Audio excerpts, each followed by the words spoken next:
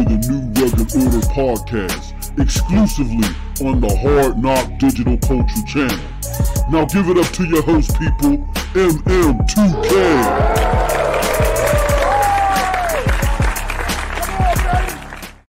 What's up, people? What's up, people? I kind of cut that off a little bit too too soon. Dang, messed that up. What's up, y'all?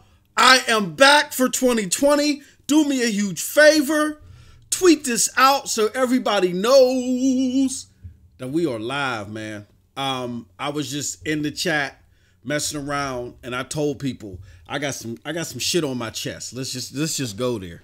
I got some shit on my chest and I'm willing to I, am ready to I'm ready to to let it go. I'm ready to let it all go.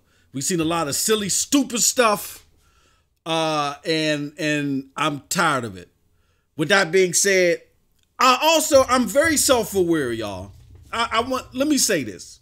Before, before I go too deep into this, I got a million screens set up. I kind of got like a different setup going on behind the scenes. Y'all can't see it. If any time this thing gets laggy or messed up, please let me know in the chat. Also, I want to shout out to people already in the chat. My homie Heath Stevens, my homie Cold Blood Sensei, anybody else that's watching. I really appreciate y'all. Again, Send this out. Let's tweet this out. Let's let everybody know that we are live. Let me do let me do one thing too. I'm gonna go to Twitch too. I'm gonna let everybody know that we live. TV. All right, Mighty Mos 2000. Okay. All right, all right, all right. Um, let's share it out. Share it out on Twitter.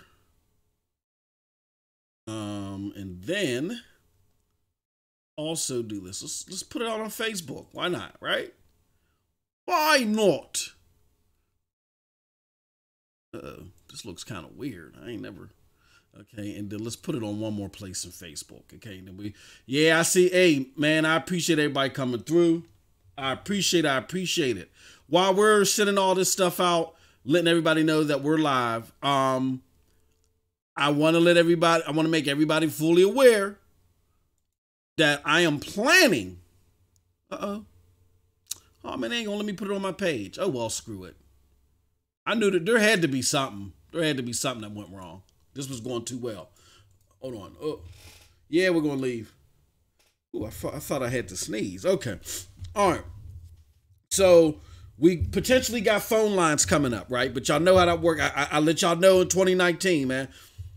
I, I, there's a lot of stuff that we're investing in to to to give y'all the best content that we possibly can, and we will only grow and grow and grow by our efforts, and our efforts will help us, um, you know, be able to provide more. But things like the phone lines and stuff like that, they don't pay for themselves.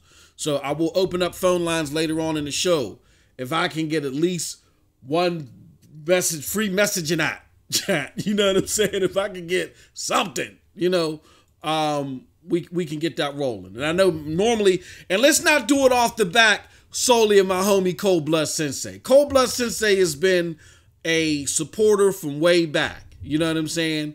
Um, always providing that support. We also got Mr. Righteous Fish out there that donates the bits and stuff. But you know, we're, we're doing this for everybody. We try to entertain and we try to dig deep and give y'all fact stuff. So let's not let the you. Uh, we we still really appreciate the usual suspects coming through, but y'all don't sit on don't sit on the bleachers, okay? Don't sit on the bleachers and let them carry the load for everybody.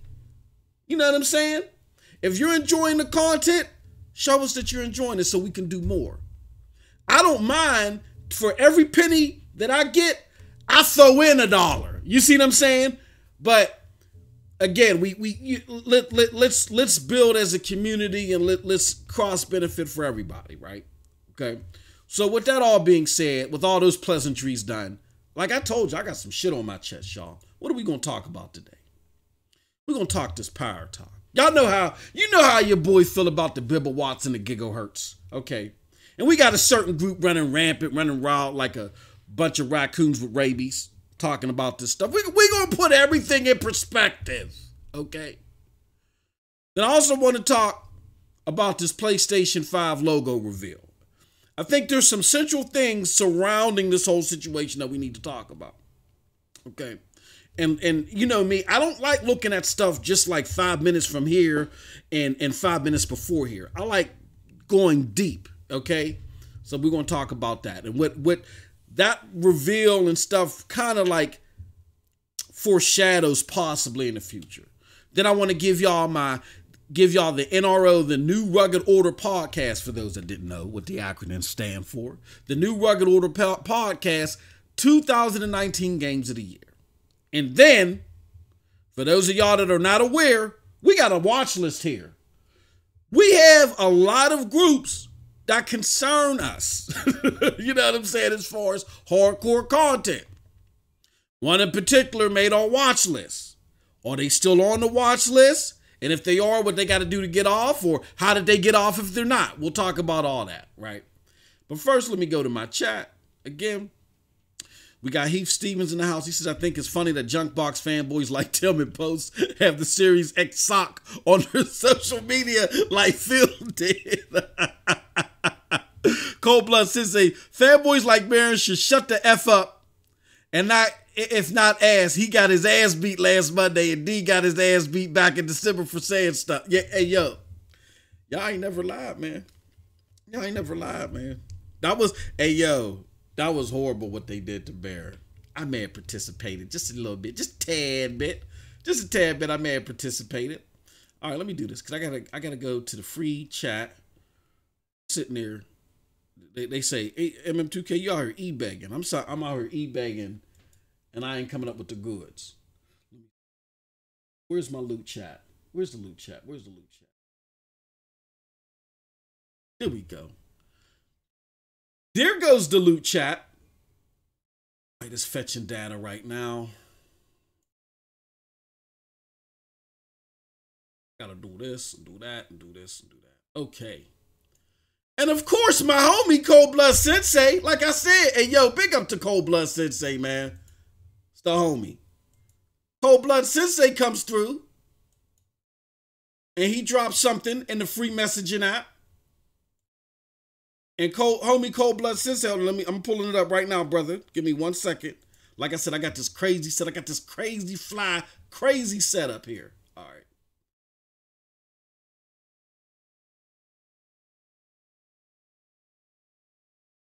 No, the cold blood had dropped something. Okay. It says finally catching you actually live. What's your opinion on D's and Baron's lies about PlayStation? Okay, so I'm gonna break it down like this. Cause you know what? Hey, King Player, what's up? What's up? What's going? He said, what's going on here, man? We're attacking the bots for a few moments. Let's the, the hell with it. You know what I'm saying? Let's the hell with it. Cause I'm I'm I'm for clout. I'm for clamped, rather. Okay? I'm a little upset. Why am I upset? Well, let's go back a little bit. In 2017 is when your boy, and thank you, King Player, for the follow. I appreciate you. You're a good brother. Thank you, good brother. I appreciate you. But in 2017, your boy MM2K came on the scene, right?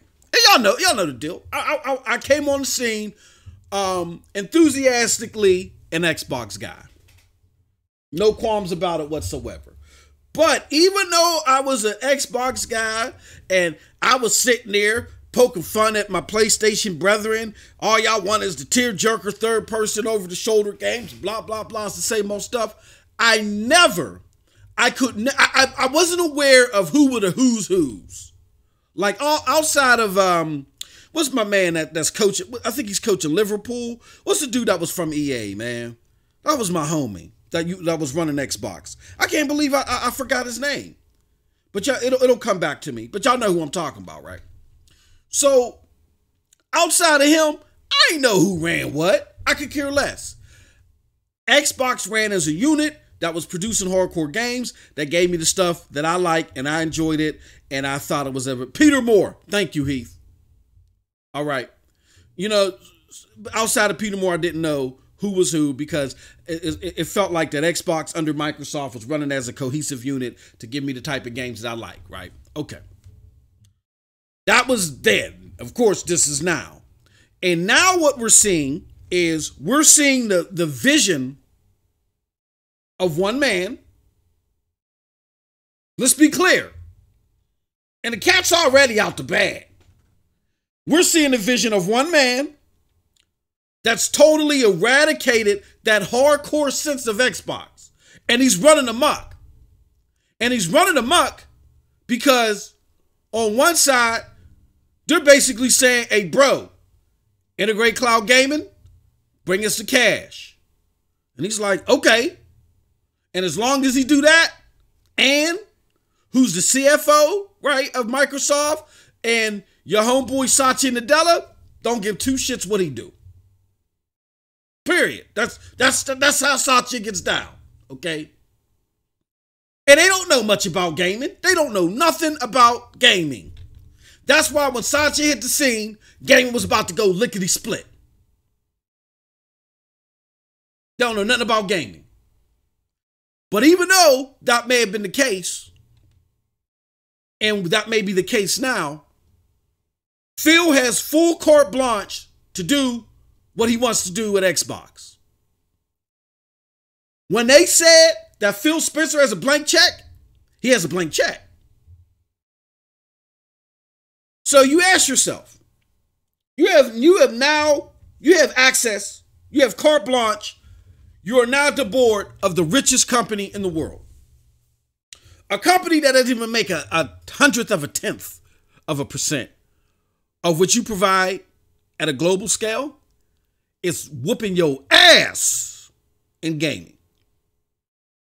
You keep telling us you can't, you can't, you can't because you're rebuilding. But they're selling lampshades and, and, and some of the old sushi that was back that was stuck in the back of the refrigerator to get to this point. So if they can do that after losing $5 billion, you finally putting the gaming division out of the red into the black, finally to the CEO and CFO's satisfaction, you're trying to tell me you can't do the same? You're trying to tell me that you can't, while Sony was losing $5 billion, they were killing it on the gaming scene. They signed deals to get the, the, the Souls games exclusive on their console. And they gave us The Last of Us. And they did a whole bunch of other shit to bring in fanfare while they were losing $5 billion. You were in the plus billions of dollars, but we got to sit back and wait. Like, I feel like, and so what has happened is me being overly enthusiastic about Xbox turned me into someone who just simply had a skepticism towards Phil and Cold Blood Sensei. I'm gonna make this come full circle. I didn't forget about your question. Just just bear with me. You know how long winded I get. But it, it, it, it made me realize that we're dealing with somebody whose plan was to uproot and, and, and destroy the philosophy that made Xbox what it was. Okay? And it didn't quite work as planned. So that's why you start you see shit like um Hellblade 2 coming out early. He didn't want to do that. That's why you saw the gory Gears 5 promo that people was clapping like a baby still alive. He didn't want to do that. Because every time he gets acclaim or he gets praised for something, he falls right back to the buttercream gang shit. Okay? So again, this is not somebody that was teetering. I was fighting a good fight. Y'all remember me and my boy Porter Rock went at it. Y'all remember that? We went at it. Excuse me. Over Xbox. And then Porter Rock slapped me with the reality check. And the reality check was it wasn't when me and him was going at it. It was when he did what? If y'all remember, y'all follow my content. It was when he showed me Dice at Dice 2018 when Phil Spencer was on stage praising PlayStation more than he was his own franchises and products. And that's when I realized that there's no fight in this guy, that this guy is on a one man wrecking ball thing. He's on a one man wrecking ball. I'm, I'm, I'm, gonna get that coined. I'm gonna get that uh, trademarked. He's on a one band one man wrecking ball thing to destroy what we knew of Xbox and to make and to, to put it in his vision.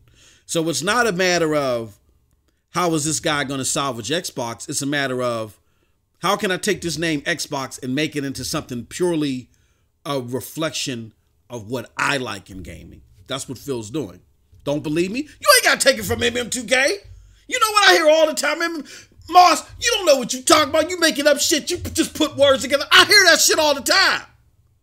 But time after time, time after time, when people say stupid stuff like that, guess what happens? The big wigs proved me right. So I've been preaching for years that this has been Phil's philosophy. And guess what we got going on right now? We got Mike Ybarra coming out exposing what's going on at Xbox. And what did Mike Ybarra say? Not MM2K, but what did Mike Ybarra say? Mike Ybarra said, there's only one man that makes those decisions. Now, do we think it's Satya Nadella? No. No. Satya Nadella wants money, cloud integration. He got that. He's happy. There goes the, here goes the code to the vault. So who is that one man? Besides who? You got it. You guessed right. Phil Spencer. So since 2017, I'm not talking about my personal likes. Y'all ain't gotta like Fallout 76. Y'all ain't gotta like stick. That's me sharing my personal likes with y'all. But when I talk business, I mean business. I done told y'all, watch out for Phil Spencer, even when I was in my highest of Xbox rhetoric. And guess what? Mike Ybarra saying, watch out for Phil Spencer. I done told y'all. I done told y'all time after time that the way this crackdown was coming out for 2019, it was going to fall. It was going to just, it was going to er, erode, and it was going to call, it was going to cause what? A crackdown awakening, a CD3 awakening, I called it, if y'all can remember. And guess what happened? Once Crackdown 3 came, people threw their hands up. was like, we're tired of this shit. Why? Because again, the guy that's remaking Xbox, not just, he's not trying to rebuild Xbox and strengthen it. He's broken it down to his very last compound. And he's rebuilding it into his image.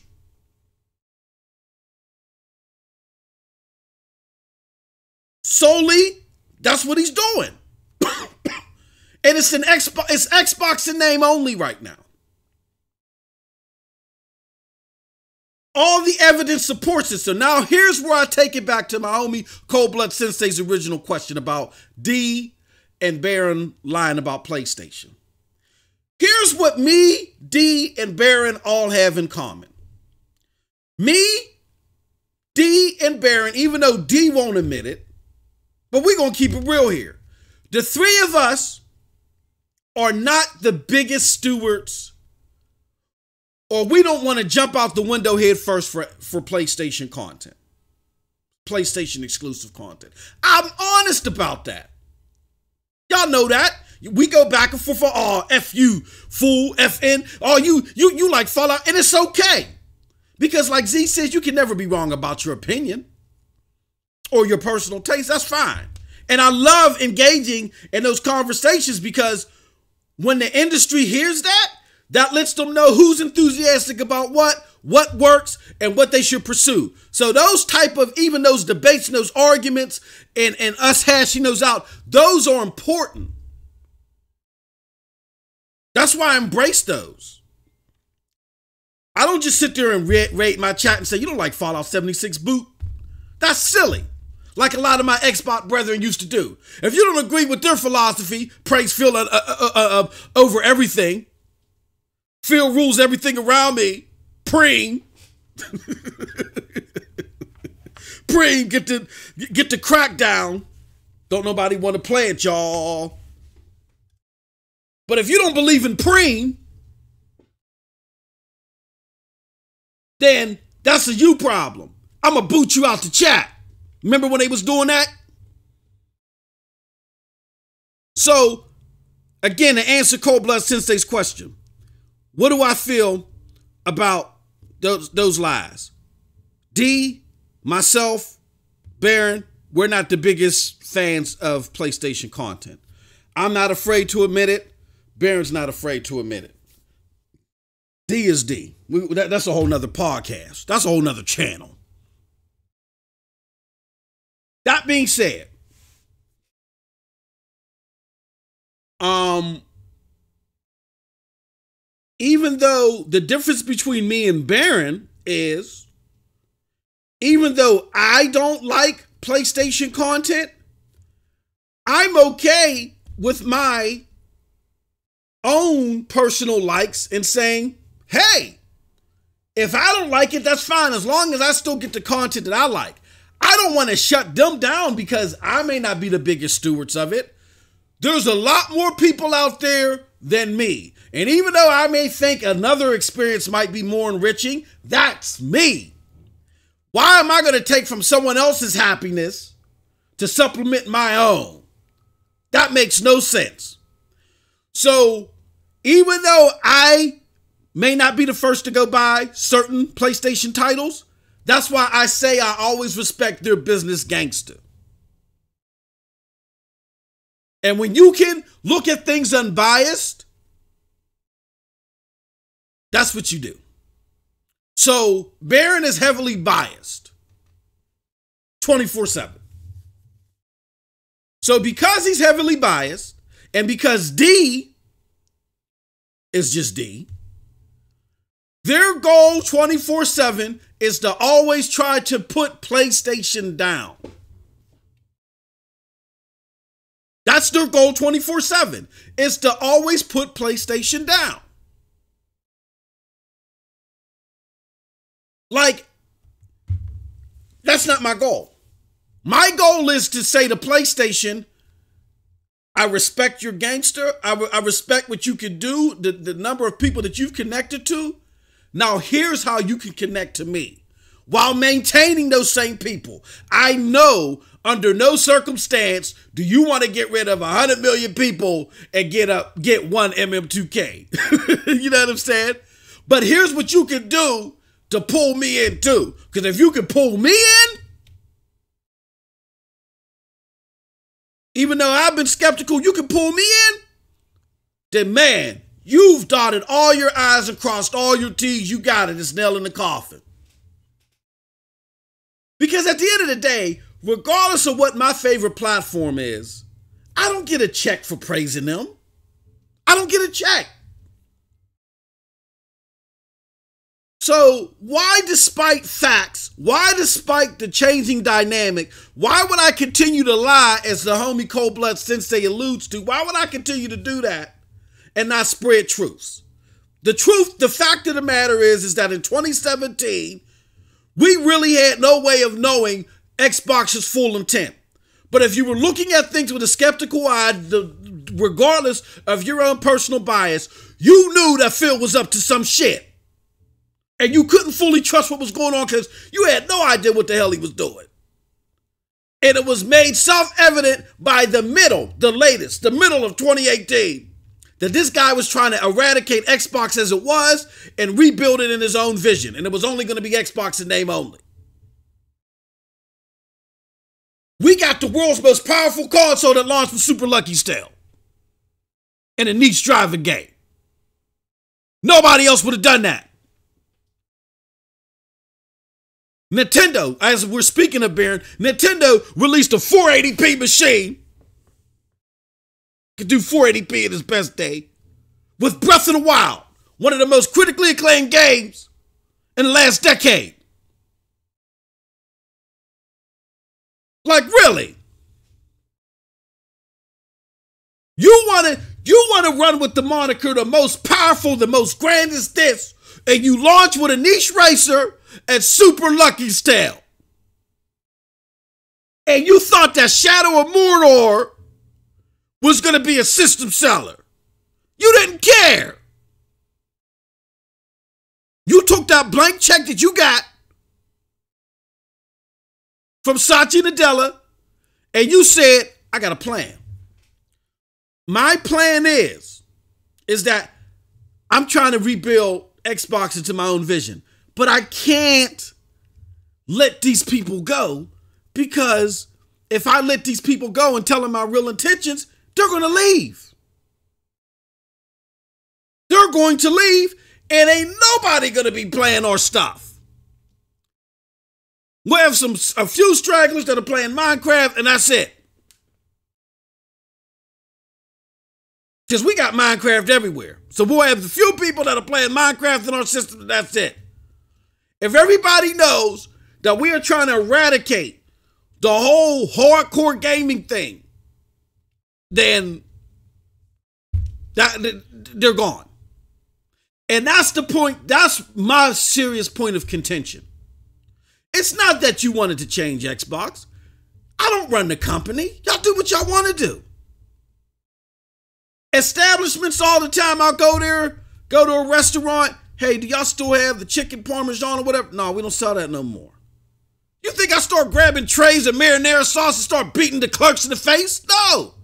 I'll be like, oh, well, I can't rock out with y'all no more. Bye. And that's it. Go on to another restaurant. But under that same scenario, instead of you telling me, hey, yo, we don't have that no more, you tell me it's not here right now, but it's coming. Then you're trying to deceive me. You're trying to deceive me in a way that goes past the typical business norms. As someone that's worked in the Fortune 500 world for over 20 years, I know marketing is a form of deception. It always is and always what? Will be. It is showing you, it's not being fully transparent, it's showing you a product or a service in the best light.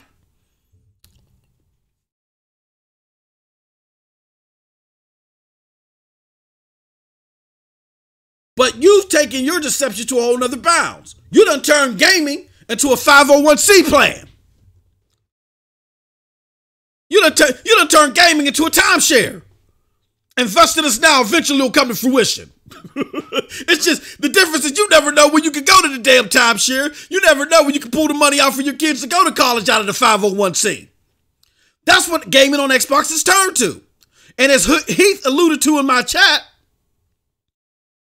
you got people, they're not playing games. They're not playing games.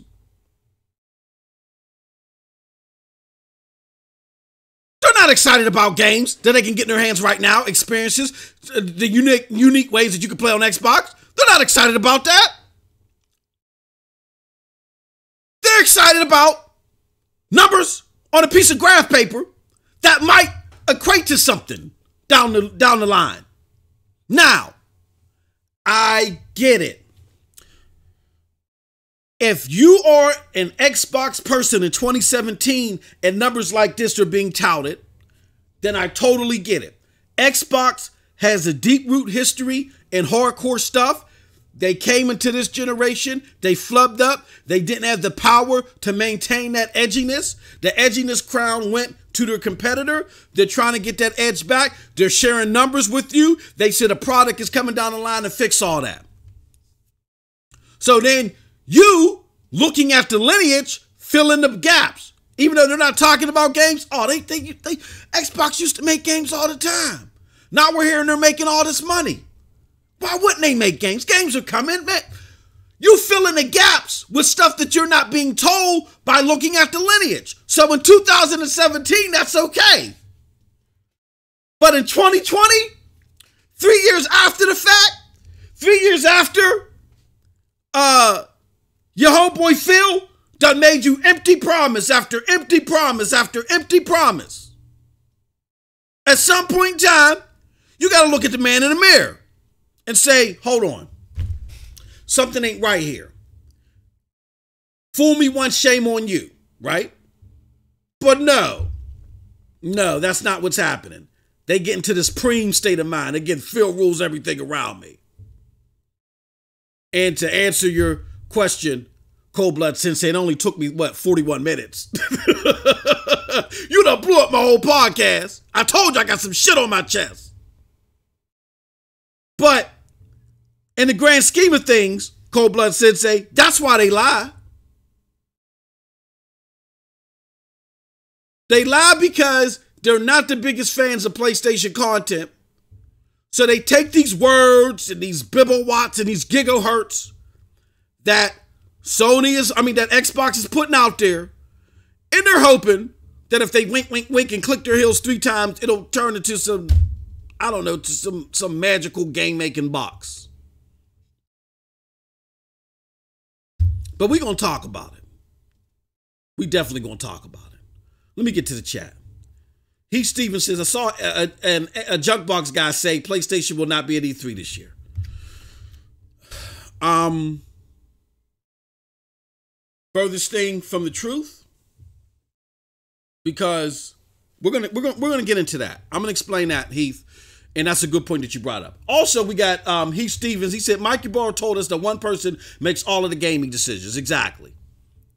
Exactly. So y'all, if y'all don't want to believe him, M2K, if I just like to just say shit because I, I like hearing my own voice, that's fine. You, you, can believe that all you want. Mike Ybarra worked there. There's a reason why. There's a reason why I keep bringing up Fortune 500, Fortune 500, Fortune 500. Because Fortune 500 is all about cloning success. And whatever the industry of Fortune 500 industry thinks is successful, if they see somebody do something successful, everybody rushes to try to figure out how they can take, they can extract that success and put their logo on it and duplicate the same thing. Because it's a rat race to make money and get investors. So if you're sitting there, got a gimmick, and you're getting investors, then you're going to go and do the same thing. It's kind of like being on YouTube. Things as simple as people thumbnails. You know, you got the thumbnail with persons like looking into oblivion with the eyes popping. That that didn't just come out of nowhere. Someone started doing that. People started noticing, hey, that person's thumbnail is somewhat attractive, quote unquote. It's it's pulling in views. Hey, let me start making the thumbnail. Now you got everybody, their grandma, the Dreamcast, got whoever, just making these these ridiculous looking thumbnails. Just trivial stuff, just like the you know how when we went when we went from breaking up stuff in the podcast to the line. That's something that I use at work whenever I'm breaking up subject matters of different presentations that I used to do. So I put a line in there. So I started doing that. Now I'm seeing everybody do it. Because they're like, oh, that looks neat. I can make that. You know what I'm saying? Now, I'm, my channel wasn't successful. They did it because they just like the way they look. But what people try to do is when they see something they can run with, they'll do it.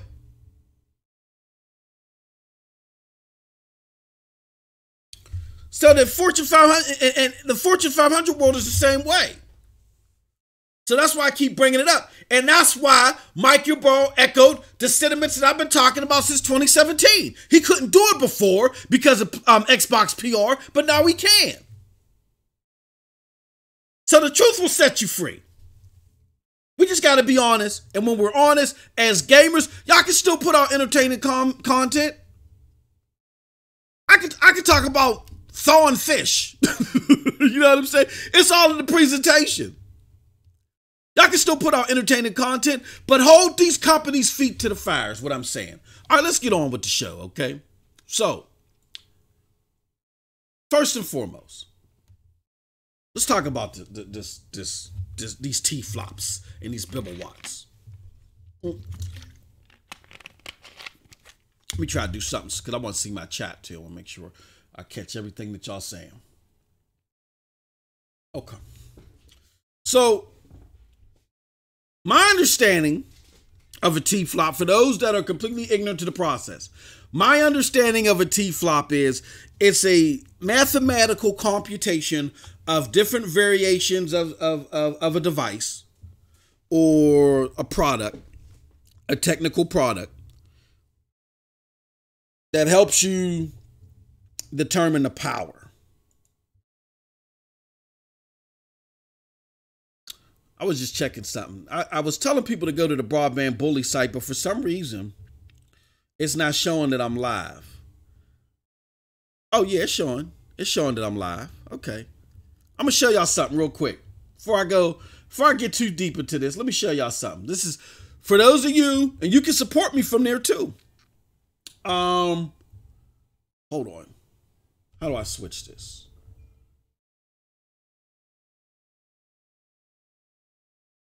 I got to do it like this. Make sure y'all can see it. Want to see what y'all seeing right now. Okay. Y'all see this? On the right hand side, That's going live right now. Oh shoot, I ain't got to click. Okay, that's live right now, right there. That's that's us, baby. That's us live on the website. So definitely go to the Broadband Bullies website. You know, whenever I'm live, you can go there. Let's see what it does when I click on it, and it, it'll take you to Twitch. You can also go now this might because I, I will have too much stuff rolling at the same time. You can also go to the Hard Knock Digital Culture site. This is our website for all of our content. You can go there. I got an old ass schedule. I need to change that up there. But um, it links to my personal Discord, which isn't active right now. But then you can you can drop you can drop a brother a buck or two. We can do some different things there. You see that? You see that? And, and we're live there too. This is my fancy shindig. So I just want to share everybody all that stuff. All right. Y'all saw that? Good. All right. Now let's get back to the, let's get back to the, to the situation at hand now. Let me close all that out. I just wanted to show y'all that because I thought that was real neat. I was told that it wasn't working, but it is working. All right. So again, it's a th- it's a theoretical math computation of of power in regards to uh, uh, in regards to your um, your device. Okay. Um, but it doesn't necessarily. Well, before I get there, let me say this. All right, so even though you have T flops and you're talking T flops and all that other stuff, don't think just because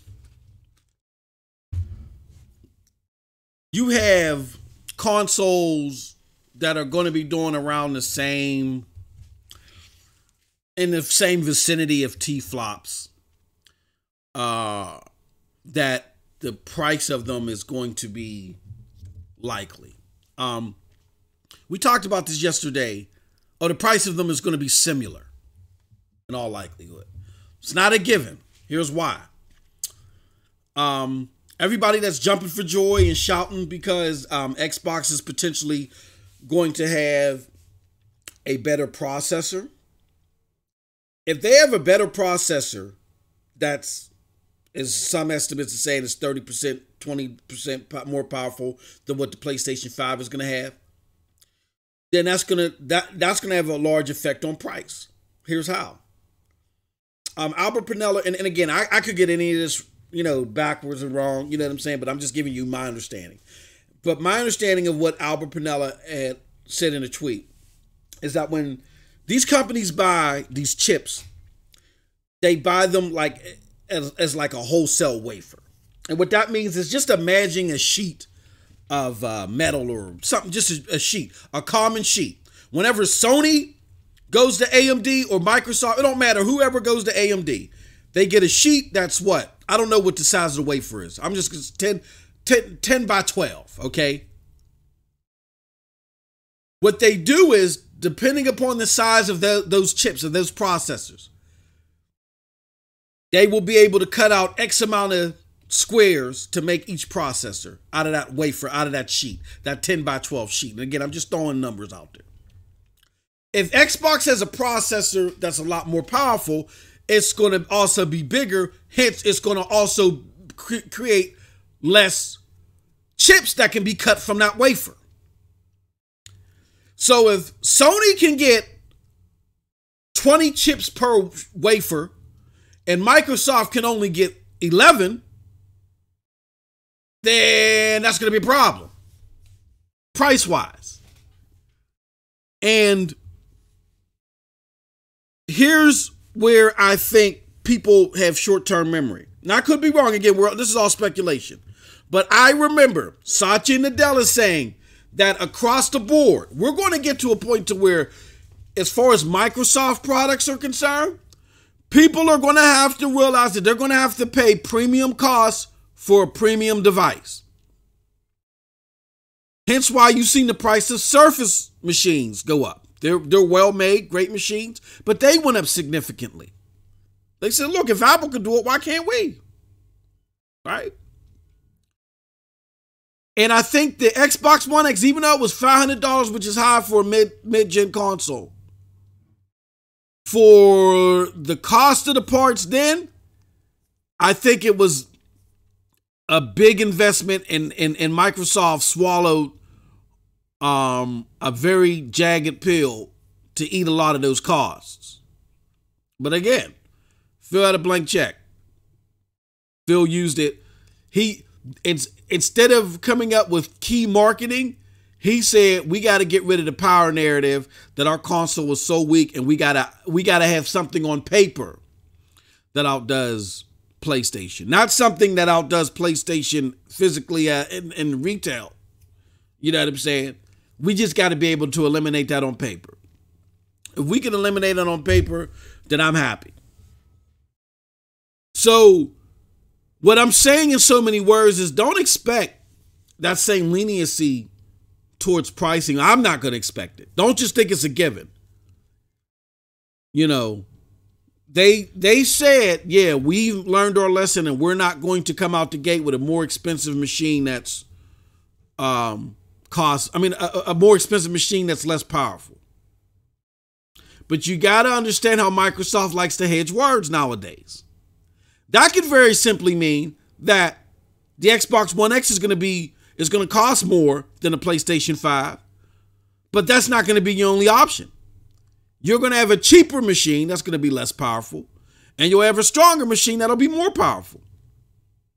So if you take that scenario, those words could apply to that scenario as well. You got to understand how Microsoft hedges words. Don't get lost in the sauce. Now, does price really matter? I think we know the answer. I mean, we know the answer to that. Yes, price matters. If we were talking about the difference of a $200 machine to a $300 machine, and a $300 machine was so much more powerful, then you could get away with having a more costly machine because $300 is in an is in an acceptable realm for a console purchase. But I think five we learned last generation and in generations past that $500 is the sweet spot. $500 is the sweet spot. Once you go past $500, you're you're just in an enthusiast realm. You're in an enthusiast market once you get past $500. Only your most staunchest fans are going to pay $500. I mean, pay more than $500 for a console. That's not a console that's meant for mass market retail. So again, let's take some things into consideration. Price is going to matter. If uh, Microsoft gets less chips made from each wafer, as Albert Penello explained, I could be, you know, and I could be all wishy-wash. But whatever the case may be, if they got to pay more for their parts, significantly more, don't expect Microsoft to absorb those costs like how they did with the X. And I'm going off of what Satya Nadella said. When it comes to Microsoft products, people are going to have to expect to pay, pay premium price for a premium product. Period. Another thing that matters is over compute units and terawatts and all that other stuff. Price matters. But what also matters is do you have the applications that most people desire? See, we make the we make the the wrong equation to just solely games. I, I, I believe. I think if you look at this in totality, what happened was, let's take the, the last two. No, let's take the last three generations into consideration. Okay. Who has more of the applications that people desire? Particularly at launch? Or who has access? What car, what unit gives you more access to the applications that people desire? At the launch of the PlayStation 2, at launch, and big ups to my homie Dirk Griggity because he brings this up all the time. At launch, the PlayStation 2 gave you access to what? A DVD player. And DVDs were sought after big time. I remember seeing plenty of stampedes at Sears. Remember Sears? They'd have a whole crate or pallet of PlayStation 2s lined up and you saw moms and grandmas and dads, people that never intended to play a video game in their life, but because they can get a uh, DVD player for what, $300, I think it was at the time, they were willing to do it. Okay? So that's what helped that out at launch. Wasn't no particularly no games. Gamers, though, that bought the system knew that, you know, PlayStation 1 had games. PlayStation 2 was likely going to have a whole bunch of games too. Right? And that's what further helped propel the system going into future generations. I mean, not future, but in future years of that generation. But at the beginning, it was what is the most sought after content application that people desired at launch? And after launch of the PlayStation 2, it was the ability to play DVDs. Okay. So now let's go to the 360 era. The 360 era, what was the most sought after applications or software in the 360 era? It was all this multimedia shit, the Netflix and all that other stuff. Now, don't get me wrong. The Xbox did, the 360 did launch with some great games too. Well, it, within its launch, I would say within that first year, it did launch with uh, Gears of War. And it also launched with that Call of Duty, which was uh, originally, was it Call of Duty 2? Not, this is before Modern Warfare. But it launched with Call of Duty 2, which was still a, a, a, a big, a big game. That was a big game. But it was all this multimedia shit that really opened people's eyes to the system. The PlayStation 3 had some multi had a lot of multimedia uh, features had its own operating system that people that a lot of people love but it wasn't in high demand. What was in high demand was a lot of this multimedia shit. So that that helped push the 360 and then, just like with the PlayStation 2, as the games came, that's what helped sustain it. And that's why the 360 sold more software. Now, here's where we go into this generation. In this generation, there was no excitement for no Blu ray player, there was no excitement for any multimedia function. You had Xbox that wounded the behemoth, which was PlayStation, which nobody was able to do ever. Once PlayStation hit the scene, that was it. They were crispy and clean. And it all, and just so then you had a you had what people thought was going to be a fight between two juggernauts. Who's really going to do it? So what did it become about? It became about the games and how you access your games. It was solely so it was so the software that at launch that was predominant was the games and how you access your games. And that's why I feel that people incorrectly focus on that Xbox had more um exclusives. It don't matter. Nobody gave a shit about their exclusives, including your boy. Nobody gave a shit about no Sunset. Nobody was trying to play no goddamn Sunset Overdrive. Nobody was trying to play Ryse when Ryse was marketed via that dumbass Kinect. Nobody gave a shit about that. Nobody cared. Dead to Rise or Dead Right, whatever the hell that game was that Capcom makes for them, nobody cared about that shit. Nobody cared. It was how were you going to access my Call of Duty Ghost and my Witchers and all the multi-plat games that people wanted to play with all these compute these pretty ass compute units and did how Digital Foundry was making people's jaws drop by playing this mental charade with them. You had the 1080p and the physical bibblewatts and all that shit they were talking. They had people in shock and awe over 1080p 60. I remember listening to a lot of podcasts and they said it flat out. 60 frames per second is going to be the be all tell all this generation. And guess what? We hardly got it.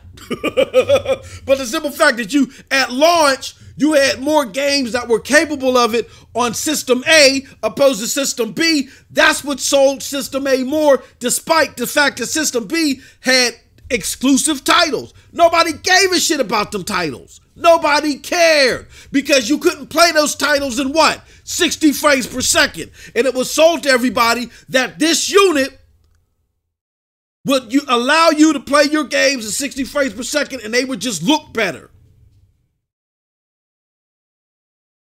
So that's why I say the most important thing at launch, because this is technology at the end of the day, the most important thing at launch is the, the, the application or the software, whether it be games, multimedia, whatever it may be. The most important thing is how does your unit introduce people to the most sought after aspect as far as software is concerned of your unit? How, how, how does it do it? How does it do it better than its competition? PlayStation 2 era at launch, it was about DVD player play it, the Xbox 360 era was all about that multimedia shit. This generation, it was all about the 1080p 60 on games. It was solely about the games at launch. Now, what's going to be the biggest seller this generation? We already we can already tell there's nothing else going there's nothing else going on out here besides games, being able to do 4K, being able to do 60 frames, and streaming. Streaming is a big thing. As someone that streams every day myself, well, no, oh, I'm lying. But as somebody that was streaming every day for a while, right? Cold Blood Sensei and Right Raging Out, I was I was I was on my shit for a while. I was doing okay. I fell off. I fell off, but I'm coming back, baby, in 2020.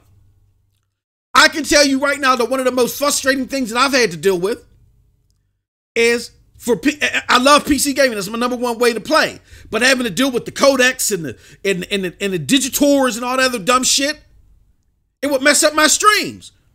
Big ups to the homie Raging Not. He sat there plenty of nights and I pretty much cried myself to sleep. Oh, welcome Ghost Recon Breakpoint is, is, is dropping all these frames. Oh. So I surmise, again, this is your boy MM2K, take it however you want to. I surmise that not only does the system that has games looking great, which I believe both will do, but the system that makes streaming games the easiest for you will do it because streaming games is a big thing. So, out of the two, because again, and big up to the homie Cold Blood Sensei. No Cold Blood Sensei. I'm not going to go into a Stadia manifesto. I don't believe. I like Stadia. I'm, I'm going to say to keep it real short and sweet. I like Stadia. It's replaced my Xbox right now. Why play it? I'm getting 60 frames per second on all the games that I will play on Xbox my Borderlands, my Metro, my Ra- all the games that I played on Xbox, I got on Stadia. And I can play them better. So why my Xbox is now pointless. Ghost Recon Breakpoint. And I'm going to be able to utilize Uplay Plus, which is exclusive to PC. I'm going to be able to use that on Stadia. My Xbox is pointless. my Xbox, my Xbox is pointless right now. So I get that. I get. I'm very self-aware. Nobody, nobody wants to, Talk. and I don't blame y'all because Stadia is not for mass market. So I'm not going to sit there and put a lot of time on Stadia, even though it's something that I feel has complete has has some for sure benefits or whatever. But it doesn't have for sure benefits for the mass market right now. So that's a, a full-fledged Stadia discussion in this realm wouldn't be viable until like the latter half of 2020. We're not there yet. This thing is still in early access. So when I'm talking about who's going to win, I'm talking about PlayStation 5 or Xbox Series whatever X or S or GD, whatever. Okay.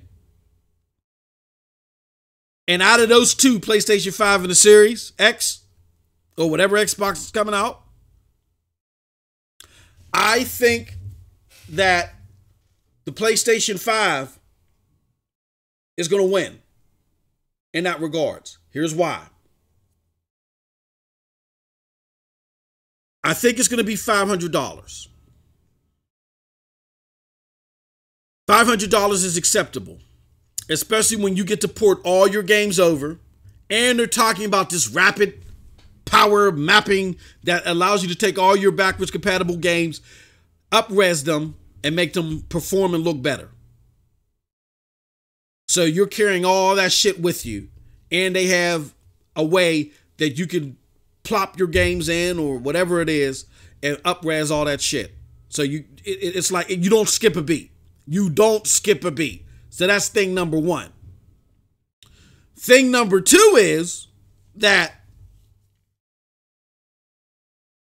you get all this power, but you ain't got to pay six hundred dollars for it. The likely price of the play of the Xbox Series X. But this X this this Series S that comes out, that's supposed to be the 1440p machine.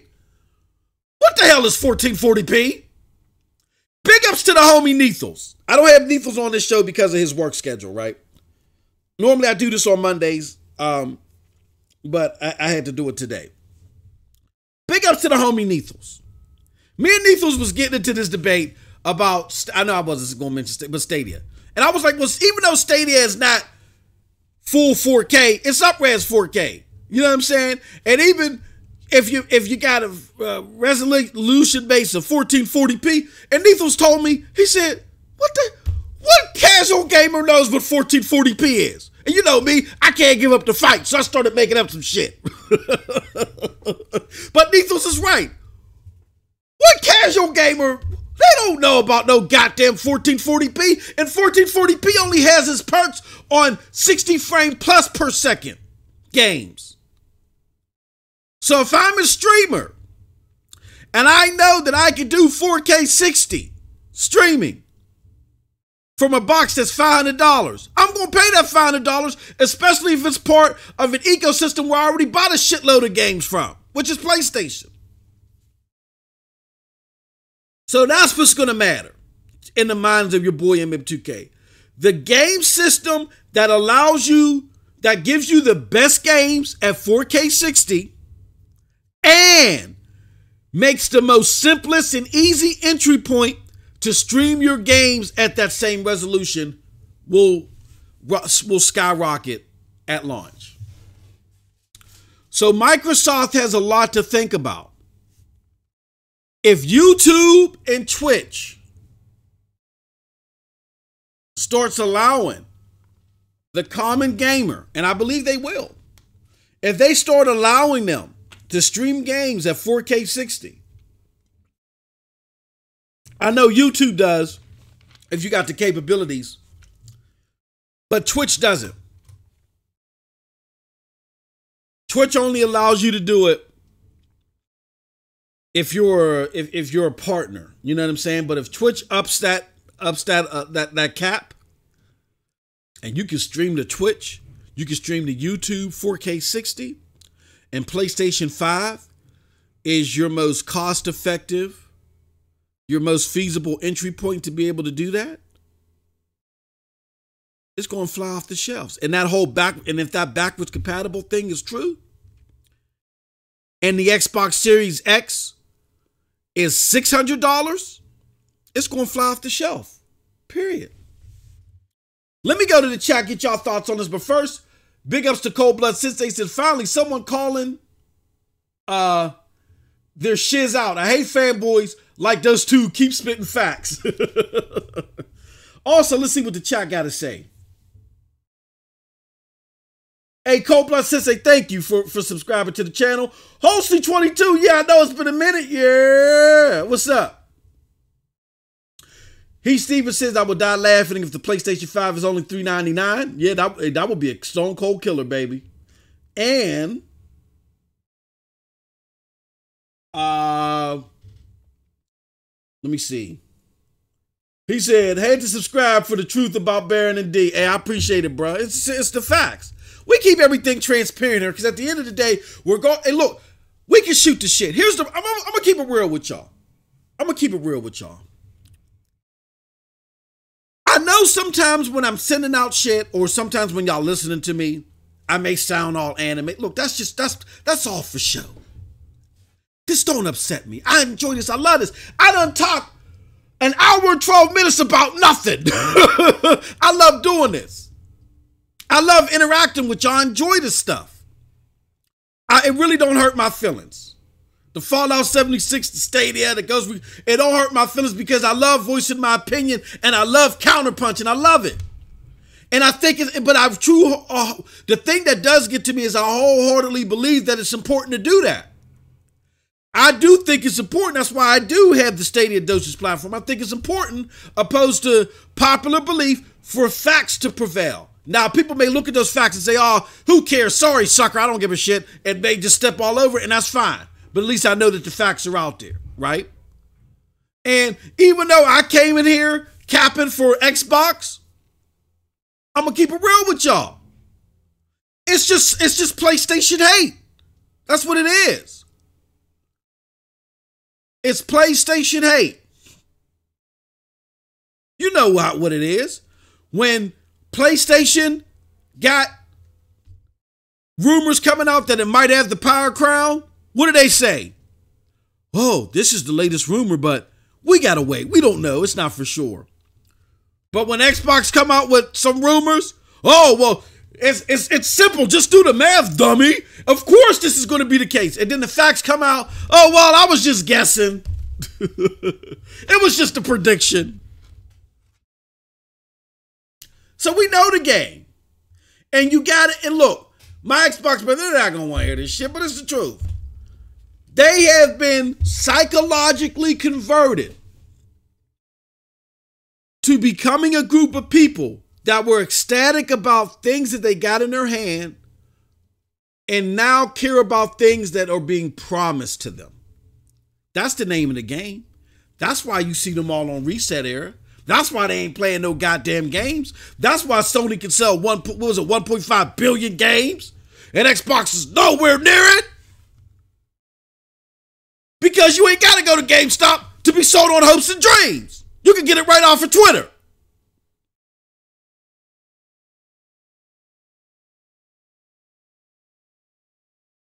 It's the truth. And I'm not one of those gamers. I couldn't conform. God forgive me. I couldn't conform. I like playing games.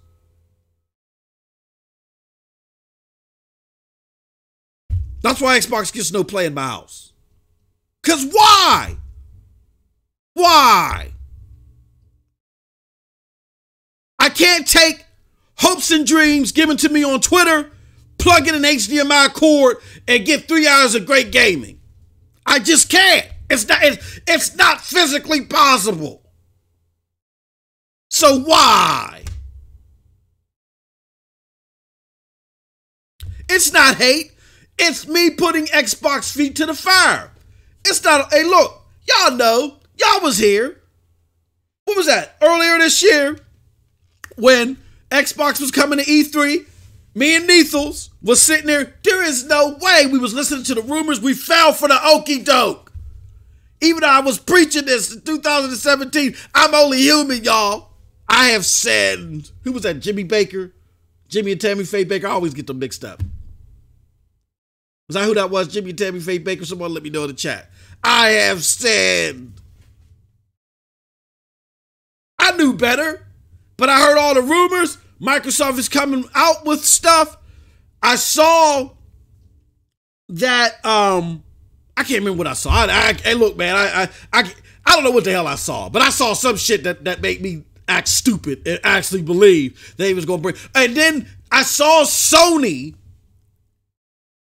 stumble over itself for a large portion earlier on in 2019. And I said, no, man. There's I can't remember what it was. Something tricked me. But Phil is a tactician. He's good. He's not a dummy. I just don't like his vision. But he, there was something that Microsoft put out there that made me think, oh no, this is real. This is the real deal Holyfield. It made me look past all of the empty promises from before. And I said, they coming, eh, I said, Z, they coming out with some shit. Me and Ethos, they're coming out with some stuff. They're coming out with some stuff, y'all. Don't deny it. They're coming out with it. And then my homie Mass came out there and said, I don't give a damn. That's why I say, y'all, y'all think Mass is an Xbox. No, Mass just don't like PlayStation. he don't like PlayStation either. And he's more vigorous in, in, in, in his uh, loathing of PlayStation. But he's going to keep it real about Xbox too. He said, I don't give a damn. This is Mass. I don't give a damn. Xbox is dog shit. Here are those 13 games that them, they going to show you or the 17 games that they gonna show you. Mass, you know what you talk about, man. MM2K, shut the hell up. This is the 13 games they gonna show you. I don't give a damn. And lo and behold, one by one, every single goddamn game, every single goddamn game that my brother Man said was coming out came out. And it wasn't the star-studded event, the nail in the coffin of PlayStation only for 2019. You 20 even if they did have a fantastic 2019, that wasn't going to wipe away the whole generation. It was just going to help usher them in into a better generation like how PlayStation did with, at the end of the PlayStation 3 era. And I said they finally get it. They going to do it. They were talked there was something that they said, but regardless, I was wrong. I said there's no way. And that was my opinion. I wasn't wrong. I wasn't st- like, you know, oh, uh, it's a fact. I wasn't out there like a lot of other sources. It's a fact they're gonna do. I I said I truly believe in my heart of hearts they're gonna do it. And I was wrong. I have sinned. Man, was I wrong. And Phil got on stage. And not only did he not show you anything, but Xbox effectively had its worst E3, I think ever. I'm going to say ever. I've been covering E3s for a long time. I'm not going to say I've been covering them all the generations. I'm going to say I, I, have been covering them since uh, the beginning of the 360 era. I've been covering E3s for a very long. I used to I used to work with a publication called the New Age Faction. They're still have a presence on the internet. I mean, I'm not a current presence, but there's still you go look at our old shit out there. So I've been covering E3 since the beginning of the 360 era. And from all and, and so I've seen every single one. That was by far the worst E3 I've ever saw from Microsoft, from from Xbox. When PlayStation in its 24 year history didn't even show up you decide you decide to drop the ball and have the worst. And you not only had the worst one, but then you went up there and said shit like, I'm more excited about what I didn't show you. Now, if that doesn't show you, if that doesn't speak to you and show you that this is coming from a guy who, in the heart and soul of Xbox, as far as it existing, it has nothing to do with Xbox of past. If that doesn't say that to you, that I am more excited about what I didn't show you, that would be like me having a restaurant. You're in a, for my Xbox people that are listening to this. That would be like me having a restaurant. You walk into my restaurant. You say, How much is the food here? Oh, it's $20 a plate. $20 a plate? God damn it. All right. Well, I'm hungry. Really not nothing of my taste within miles of here. Seems like y'all kind of have stuff. Y'all have a lineage of producing good food. I hadn't heard, I didn't heard about y'all. Bring me out this plate for twenty dollars, and I bring it out. There's a couple slices of cheese and some crackers, and I keep telling you, hold on, it's coming. Then I bring you out some juicy juice and I bring you out, lastly, some celery. And you're like, hold on, hold on. Based upon your lineage and what you used to provide. I paid $20 for this plate, and you knew that. And you break me out slices of cheese, juicy juices, some goddamn celery? What the hell? And you ain't got you ain't got no other you ain't got no competition that I'm willing to go to within miles. You got the stage all to yourself. I was willing to give you my $20. And this is the best you could do. What do you got to say for yourself? And if I were to respond to you, well, you know what, ma'am, sir, even though you paid $20 for that and you weren't satisfied, I'm more excited about what I'm going to serve you next time you come in and pay another $20. Ah! if that doesn't speak to a guy that has no care about typical consumer based expectations, I don't know what does.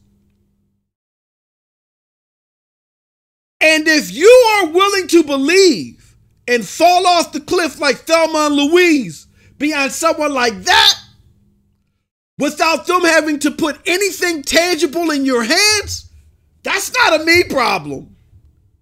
Maybe not even a you problem. It's a psychiatrist problem. He told you. I had you drop $500 at the beginning, another $300 in 2016 or whenever the, the S came out, and now another $500 when the X came out. Really showed you nothing for it. That the other the competition couldn't provide at a feasible level. And that's okay because I'm more excited about when you come and drop another five, six hundred dollars, what I show you then. And there's a problem with me. I'll be damned. With that said, let me go to the chat before I go to the next part. He says, I don't get how Z, uh, Cold says, they says, I don't get how Z can be so excited about Xbox reveal that they didn't even show anything he likes to play until now. Um, no, here's the thing. We're all human. was was was was rumbling through Z's veins is what's what rumbled through my veins earlier last year.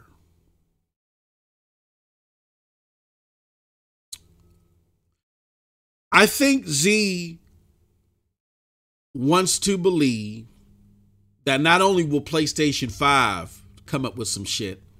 But he wants to believe that Xbox is, is, is taking this more seriously too.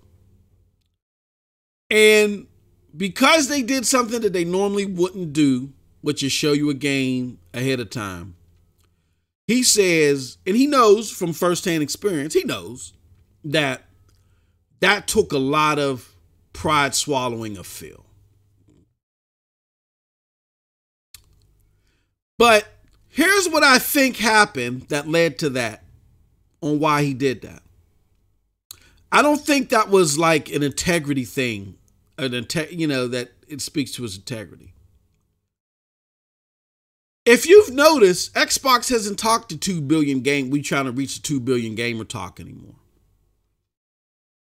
Again, I told you I'm not going to make this a Stadia podcast, but we got it, but but but it but it plays a part here it plays a part in with Xbox. Regardless of what the general consensus is as far as consumers are concerned, Xbox is, is highly concerned with Stadia. That's who their competitor is in their mind. So they really thought that this project xCloud was going to come out here and do some shit for people. Right? But again, because I don't think, like my homie David Jaffe alluded to in multiple occasions, Xbox has a management problem. There is no accountability. I've never seen a flop this hard with the corporation as far as Xbox this generation and hardly no heads roll. The only thing that happened was Donnie D got let go. Terry Myerson dealt with them temporarily, and Mike Ybarra left. And of course, Phil got promoted, and they picked up Matt Booty. But as far as like a shift in the dynamic to to say, look, something's wrong. I've never so you got the same players pretty much there. They're just following one guy's philosophy this time around. So these people were brought in to follow a philosophy led by Steve Ballmer and Donnie D. Them two are gone, and now they've dealt with this whole eradicated mind state that's solely based off of what Phil wants. And they probably don't understand how to make it work. And that was probably a, a, a lot to do with Mike Ybarra's frustrations and why he left. A part of the reason why he left. You, I've, I've never seen anything like that where you don't like gut, somewhat gut that that group to get a better group that can supplement not only uh, uh, a product or a service that's going to make more money, but that's going to supplement something that's going to have great customer satisfaction all the way around and start bringing people back. I've never seen anything like it. But you have that dynamic here. So, to answer your question, Cold Blood Sensei, I think Z saw that they swallowed their pride a little bit and did it, but it wasn't out of uh, integrity, it was out of necessity. And it was out of necessity because they, they're, they're having to shift their strategy. Project X Cloud is, I'm telling you, I've tested this stuff out thoroughly. I don't care what a digital foundry or a whole bunch of other liars say. Project X Cloud is trash. This ain't got nothing to do with Stadia. Let's take Stadia out of the equation. Stadia don't even exist. Project X Cloud, in comparison to its peers, is trash. It's trash. It looks pretty, like the Xbox One X. It looks pretty, but it's trash. It's not consistent. There's a shitload of games on there, but you don't know which one you can play. There's only a handful that are consistently played. It's premier game Gears has serious drift issues. Like it's trash. Y'all see me streaming Stadia. I have no such problems with Stadia. Regardless of how popular it is, I'm just talking about the performance. The performance is trash. And now they realize that. They look at their competition. They're looking at NVIDIA. They're looking at Stadia. They're looking at Tencent now getting into this, working with NVIDIA. Oh, shit. And we based our technology off of Xbox One S's in the cloud. How long is it going to take us to upgrade these server blades with Scarletts? Oh shit. We are nowhere near ready. Let me go back out here and rearrange the game, move the goalposts. Oh, cloud gaming is only good for when you're away from your console. Let me just be frank and honest about it. Best way to game is through console. Now, whether you believe that or not, that's one thing. But that wasn't the shit that they were selling just a few months ago.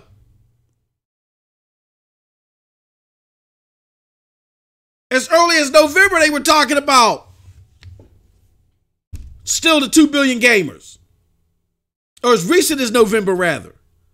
Once Stadia came out, and once there was more spotlight put on Nvidia, and now Nvidia is going to be working with Tencent, they realized that the, the X Cloud, as far as performance, at the bottom of the barrel. That's why you start seeing Mammy Jammies come out with this bullshit. Oh, well, Xbox is fully aware of the latency issues, and they got something grander in plan. All this damage control BS. Project X Cloud is dog shit. Period.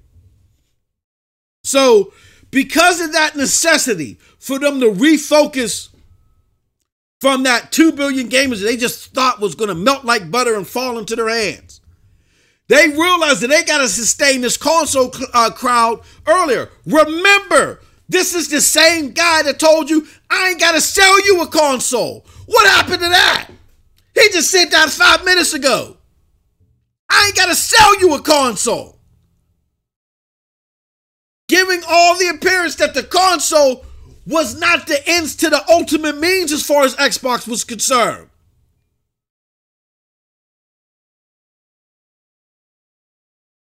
They thought this cloud gaming was going to be their ticket. And now they're looking at their competitors and they realize that they're at the bottom of the barrel.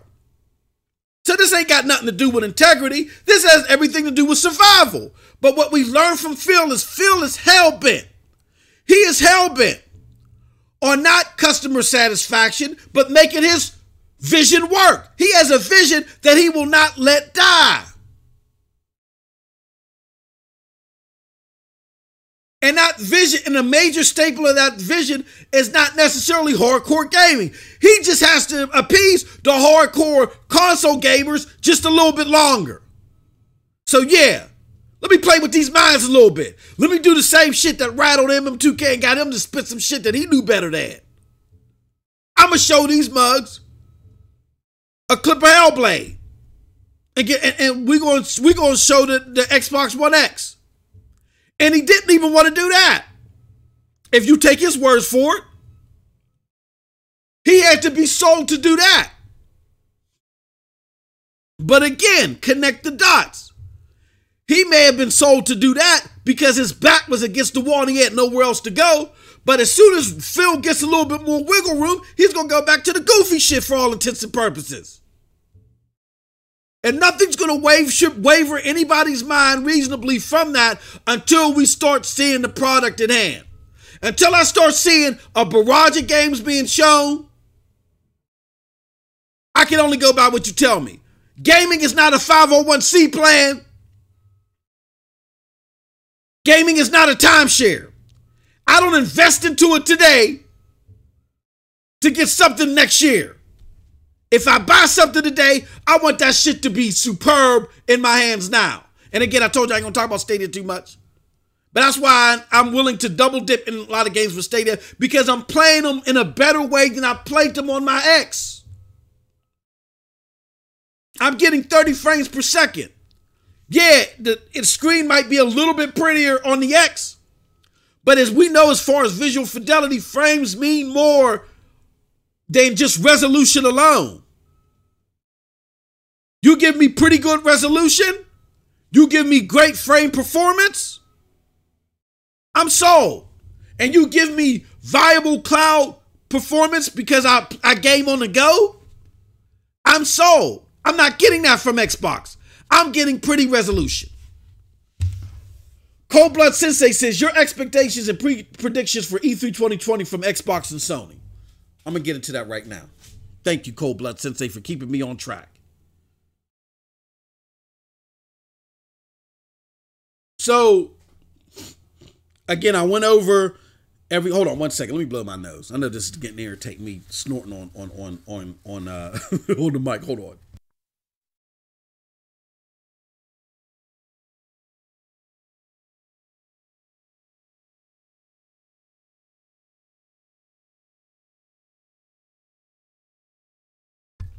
Okay. Now, the biggest things for PlayStation 5, not just at E3, Cold Blood, but this year, we'll start with PlayStation 5, is what is the game that will make you want to switch? Make you want to switch from a PlayStation 4 to a PlayStation 5. Again, let's hope that that upres thing is true with the backwards compatibility. But what is the game that's going to make you want to switch? What is coming out for PlayStation 5 and only for PlayStation 5 that's going to make you want to switch? Is it going to be Godfall? Hopefully it is. That's what I'm thinking. Or does Sony have another rabbit up their hat? I, I mean, a, a rabbit in a hat. Maybe they do. But that's the secret sauce for PlayStation 5 is what game that they're going to have that's going to make you want to switch because Jim Ryan said it himself. He wants people to switch from PlayStation 4 to PlayStation 5 faster than ever. And it could be because he wants people to get off that bottleneck uh, in the in, in in the capability limitations of the PlayStation 4 because they got some big things planned for PlayStation 5. And I think those things that they have planned for PlayStation 5, along with that game, that's going to make you want to make that switch faster than ever is uh, going to be shown at E3. Has to be shown at E3. For Xbox, it's Halo Infinite. I don't know what they're going to do. I have no idea what Xbox is going to do. All I can go by is now their new lineage because this is not the Xbox. This is not legacy Xbox as we say in my industry. When, whenever something converts from one thing to another philosophy or another entity, but they keep the same name. We say Legacy Company ABC, and now the current company ABC. Legacy Xbox is gone. They're gone. This is now Phil's Xbox. Under Phil's Xbox, I have no idea what they're going to do. Has Phil completely resigned to understand that he, because of the failures of what Project X Cloud is right now, like it may have gotten some kudos from Digital Foundry, but that's not leading to anything tangible in anybody's hands? Is he fully aware of the failures that Xbox Project X Cloud is? And has he resigned to the fact that, okay, now I've tried everything in my gauntlet of sugary, uh, diabetic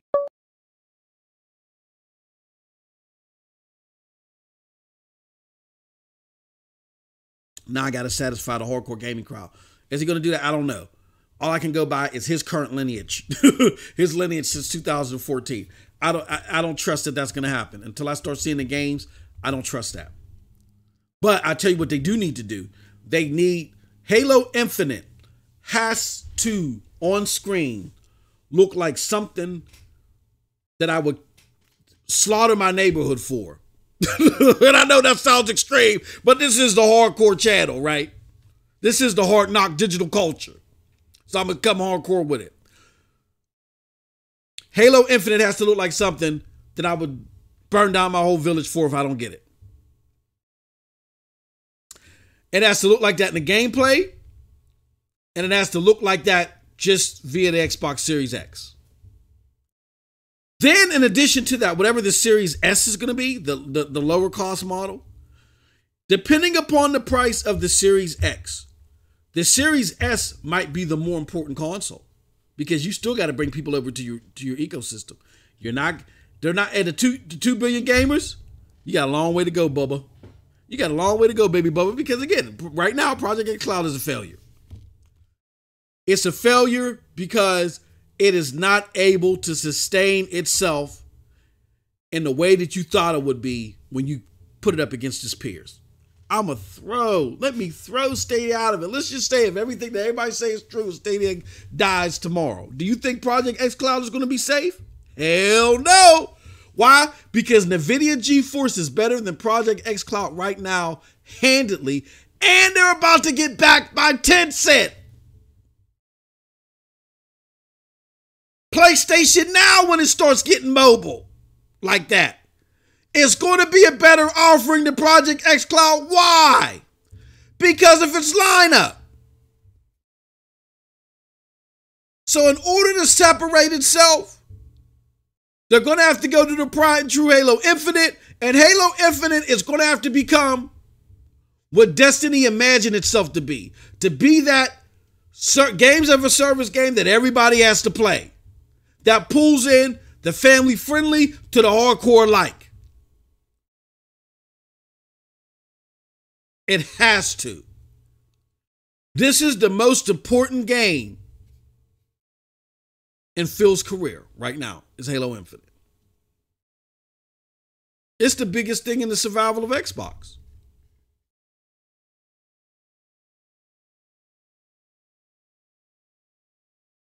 Let that sink in. That's why I'm quiet. I want y'all to let that sink in. Think about it. And my Xbox brethren are like, no, no, no, no. They're, y'all are in a realm. Y'all are in, y'all are in a silo. I can't even talk to y'all. Y'all are in a silo. Y'all don't even think like the average consumer. Y'all think y'all do. But if you thought like the average consumer, you would have left Xbox years ago, like the rest of them. So apparently you don't think like the average consumer. I'm not saying you have to. I'm just saying you're not in a in a place in a state of mind to understand what's going to drive the average consumer because you're stuck in that silo. You are in the inside while everybody else is on the outside. You cannot connect to the average consumer. You just can't. Right or wrong. You just can't. And the name of the game of Xbox isn't just sticking around, they have to bring people back to the ecosystem. They're not going to survive and be viable. Do you think that they have Game Pass out there for a dollar to just keep y'all? to keep y'all 40 million MFers? Do y'all really think that who thinks? Do y'all think that you're really making Game Pass a dollar to keep y'all? Really? Really?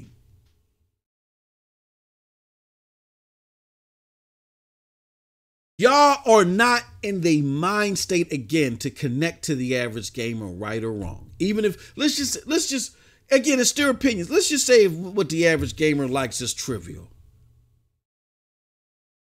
You don't take you don't you can't write the word non-trivial on a piece of paper and take it to the stock market and cash it in. Money talks. So trivial or not, you need to be able to grab their attention and bring them back. And for those of you that live and die off of Phil, what Phil Spencer says, again, preen, Phil rules everything around me. For all you preen gamers who sit up here and argue, well, Xbox does this and Xbox does that. If y'all haven't resigned to the fact that nobody cares outside of your little tribe, that nobody cares, then you have no idea or you have no capability of understanding what's going to make Xbox successful.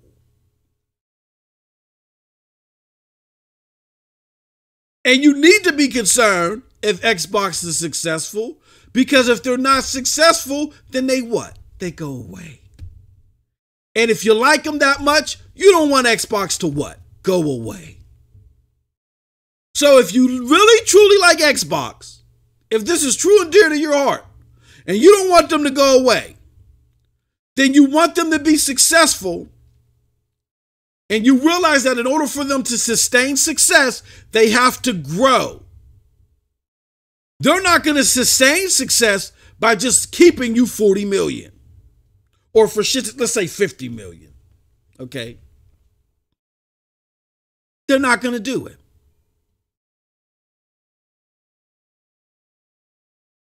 They have to be able to, at the very least, chop this down the middle again, where they're battling with, with PlayStation and it's 80, 80 versus 80 million again. Maybe 90, 70 million. That's where they have to go. Why? Because just like I tell my ex, my PlayStation brethren, the market tells you so. You can't keep getting the same, doing the same thing and be successful in the market. If you don't have any growth, then people don't invest in you. And guess what? If people don't invest in you, something's getting shut down. So, my Xbox brethren, y'all got to take a real deep look in the mirror. Y'all got to realize y'all don't have the mental awareness to understand what Xbox needs to do in order to be successful. If you've been arguing even past the Xbox One X, if you've still been arguing, well, it just fell flat, or oh, it was just the luck of the draw. If you think that's the problem, then you in no way, shape, or form have the capacity to prejudge what's going to be successful for the system. You need to go to somebody that's abandoned Xbox. Go to a few people and ask them what's important to them. Like how I have. And once you do that, when you get off your high horse and stop thinking that what, what's important to you is going to be important to the masses, when you come to that realization, then you could come back to the camp and start telling Xbox, hey, look, I may appreciate this, but you ain't getting nowhere, but you can't survive just off of me alone. Keep up what you're doing, but expand this way as well. Grow. Until that starts becoming your message, and, and, and add to that, and whatever your growth is going to be has to be tangible. People have to see it.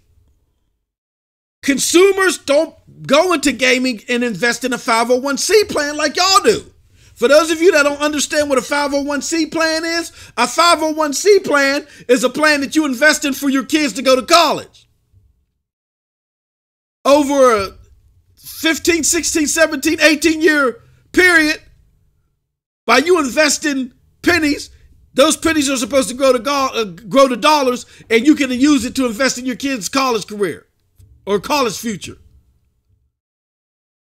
That's what a lot of people are doing on Xbox. They're investing in Xbox 501c plans.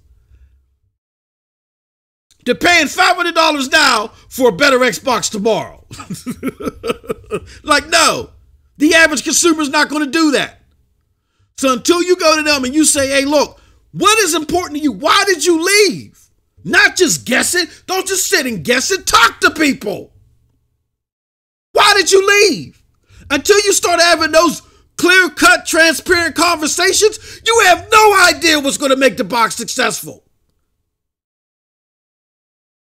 Because if you had any idea, there would be more people on your side than not. And, it, and, it, and that's not the case. So wake up. Now, so Cold Blood Sensei, that's what's going to be the secret to the success for PlayStation 5 and Xbox. It all rides on Halo. It all rides on Halo.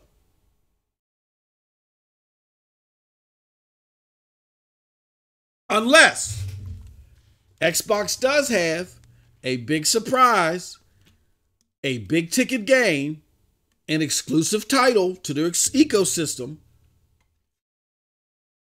that is coming out at launch but I don't think there's a big game coming out at launch bigger than Halo. It's it's Halo. I doubt it. But again, these are just predictions. Now, I promise you, I, I'm self-aware. I'm not going to focus too much on Stadia. But Stadia may be a contender to a certain degree if they come out with games and they do a couple of things. Stadia has to ensure in the latter part of 2020 they get all the sought after multiplayers games. Like the Call it, they got to get Call of Duty. They got to establish a relationship with Activision. I'm going to be honest with you. I don't know if they're going to be able to establish a relationship with EA because EA looks like that they've sided with Steam, and Steam, you know, is working on their Steam Link thing, their version of cloud gaming or whatever. So as part of that deal, they're probably cut off from Stadia. Who knows? But if they if that isn't the case and they got to relate they got to establish a relationship with EA because not to not being able to get your Maddens or your FIFAs that's going to be a big hit. They got to they got to do everything they can to establish a relationship with first and foremost Activision and then secondly with EA. They got to. Those are going to be the two biggest uh, the two most important relationships period. They're going to have to do it. Also, what they're going to have to do is they're going to have to if these if these consoles can do 4 1440p 120 frames per second then they got to do 120 frames per second. They're already beating them by consistently doing 60 they're going to have to make the jump to 120 frames per second. They're going to have to. Okay? So that's what stadia needs to do. Nintendo look they got it the easiest. All they got to do is I think that they can't be too far behind. If these consoles are going to be doing 4K 60 consistently, then they got to at least bump up. They got to come up with that that Pro and do at least 1080. I mean, I get it. it. it. works well as a handheld, even though I think most people play it dock. But if, and the 4K upscale on the Switch ain't too shabby. I'm gonna be honest, the 4K upscale ain't too shabby. It looks decent. A lot of people don't talk about that. Because a lot of Nintendo enthusiasts just focus on the fact, well, we ain't gotta have pretty good, but the 4K upscale when you have a dock ain't too shabby. That being said, the, the, they need I think they do need the Pro. They do need a Switch Pro to at least emit 1080. I don't want to say need, but I, I, I, it'll go a long way. Even if they never come out with it, it's going to still be uber successful. Because again, because the Switch can do a 4K upscale. And again, I, I don't think it's too shabby. And then keep pumping out the games. That's all they got to do. That's it. Excuse me. Let me go to my chat. Says, uh, Junksbuck guys are too delusional for that. Cold Blood Sister says, yeah, but Phil is is not about that AAA life. Or the, yeah, like short, cheap, yeah. Cold Sensei also says in the Lutz message, my prediction, Xbox is going to launch strong, but if they don't keep the fire going, it's over like last gen. Um, there's where, and again, I can't believe we're disagreeing on this front. I don't launch strong where. If the Xbox One X is six hundred dollars, and I'm only again, this is all predictive. This is not etched stone. I'm not saying this is etched stone. I'm just going off of the most feasible things that we know of right now. We've had them show the bigger chip. Unless PlayStation is coming with the same chip, they're going to be at a price disadvantage. Satya Nadella said they're not going to be absorbing costs like they used to. You want a premium product with Microsoft, you're going to have to expect to pay premium prices.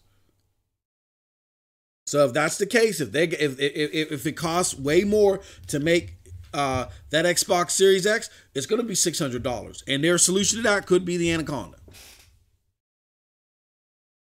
I mean, not the Anaconda, the the the, the Lockhart.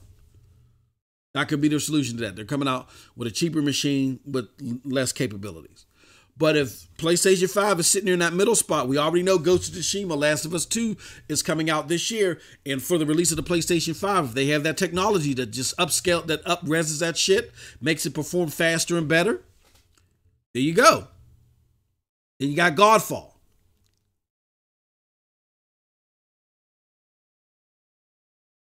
I, I mean, you know, I, I really don't know what Microsoft has in hand. But, but again, again, I don't know what Microsoft has in hand. But they haven't shown us anything. And I'm and with Microsoft, I've learned, and I had to be backhanded again and reminded again this year. I've learned that you cannot go by what Microsoft says. You got to go purely by what Microsoft puts in your hand. All companies deceive to a degree. All companies, prom, you know, overpromise at, at points in time. But Microsoft does it to the umph degree, and I will only believe it when I see it when they put it in my hands. You showing me a cutscene from Hellblade. Can I play that? When? How? Exactly. He says, I meant game wise. Strong, but yeah, if it's six hundred dollars. Oh, I mean, yeah, their, their games are gonna look pretty. The games that look, it's gonna be the X all over again. Look, Sony just has better talent. And they have a bigger commitment to fidelity. And they therefore they've developed techniques with that. You got uh, Guerrilla Games that developed Decima, and Decima is a beautiful engine, and and and Guerrilla are just technical wizards. I don't like their games. I don't like their games, but they're technical wizards. I've done some research, man, and that what they were able to do with Killzone during the PlayStation 3 era. I was reading like this this this um slide that they created about that, and I I was just at all like, golly, Guerrilla should be like a support group, like how Dice LA was before um what's it called? Took them over but people like your game so that, that that's me. But I, I i think they should have a wing that's definitely a support group that goes around. Here's what i think should happen. Okay this is going to be a perfect segue into my next point. Because i want to talk about that ces that ps5 logo reveal. Um it got a big reception on instagram. We reported it on the broadband bullies website. We talked about it there. Um but I don't know if Jim Ryan gets mind share. Because let's be honest here. 2019, as far as PlayStation mind share, wasn't great. And a lot of this was curated through um, Jim Ryan. I get it. I know why Jim Ryan's in charge. And I've spoke about this earlier. Jim Ryan, um, he will okay, Shawn Layden went all in. When they when when when when when placed when Sony found out about this Xbox One X and it being more powerful, they were concerned. I remember there was a tweet or, or not a tweet, but a story where they even talked about. It. They said, "Yeah, oh yeah, we're we're watching this Xbox One X. Yeah, it, it's something for us to pay close attention to." And they went all in. They dropped the, they started off with making sure they don't even win an NPD. They dropped the price of that PlayStation 4 early to make sure that Xbox, even though it was more expensive, the X, that they still wouldn't that they they they had more PlayStation 4s fly, fly off the shelf. And I remember because that's when me and my homie Porter Rock was was battling over who was going to win Black Friday, and I had to go on live and I had to admit I said I was talking to my source at GameStop, my my homie, and and talking to them. It looks like that X that PlayStation 4 edged out Xbox the month that that that X was released by lowering that price a few days earlier, a week early before Black Friday. They went on, but they lost, you know, they, you know, but that, that was more in a hole, more in the red that they went by doing that. Then just a bunch of other things that they did that were not best for the company. Because they went all in in 2018 and they had and they, and they had no answer in 2019. I think Death Stranding had a large part to do with it. I think Death Stranding was integral to the demise of Shawn Layden, the demotion of uh, Yoshida, why Andrew House rolled. They were all Kojima Knights. And as Death Stranding as as we can imagine, sucked more and more money out of PlayStation. I don't think Jim Ryan was a big fan of it. He was probably saying, "What the hell is this?" And that wing of PlayStation against the Jim Ryan wing of PlayStation, which I think Hermen was probably part of that. He probably said, "Hey, we we work with Kojima on this Decima engine, and I don't know what he's what he's making." That's probably why Hermen now was head of studios. He probably was working with Jim Ryan. And he probably went to was like, I don't know what the hell he's creating here. Like, he's helped us with assets and shit for the engine, but I don't know what the hell this guy's making. And he probably was an inside source for Jim Ryan. And as the game started to go more and more down the pike, I think Jim was able to sell to the Sony brass look, we followed Shawn Layden and them. Um, we went all in in 2018. Our stock price soared at $60 a share. But in 2019, Days Gone is trash. To is in in in, in critically in critical acclaim. Days Gone is trash. We got this Death Stranding that's just pilfering us for money. All these stars, and we don't even know what. The, and this is a this is a mail simulator. Like come on, like we have no buzz. We can't even go to E3 now. We're pulling out of PSX. Everything looks disastrous for us in 2019.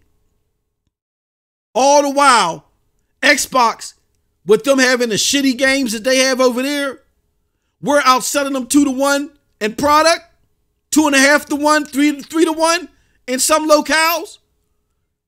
But they made $10 billion to our 16 billion. How the hell did they do that?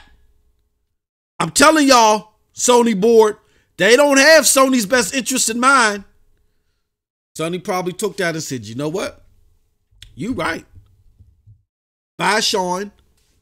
Andrew said, I'm leaving before y'all ain't booting me, I'm going.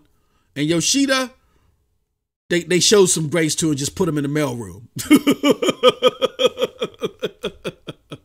Look, uh, Jack Tretton told y'all Sony is not about individual contributors. Sony is all about Sony. Every individual within Sony is considered a cog in the, in the, in the master wheel. And if they're trying to transform the design of the wheel, they'll throw out a cog in, in, in a heartbeat. And I think Jim Ryan was just able to sell his case better than uh, than Shawn Layden and company were. Um, and I think Death Stranding probably played a huge role in that. Jim Ryan Look, everybody's congratulated Kojima and talked about that. Jim Ryan doesn't even talk about it.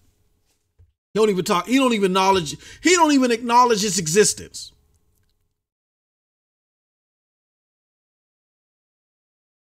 But the question is, does Jim Ryan get the mind share like Shawn Layden and them did?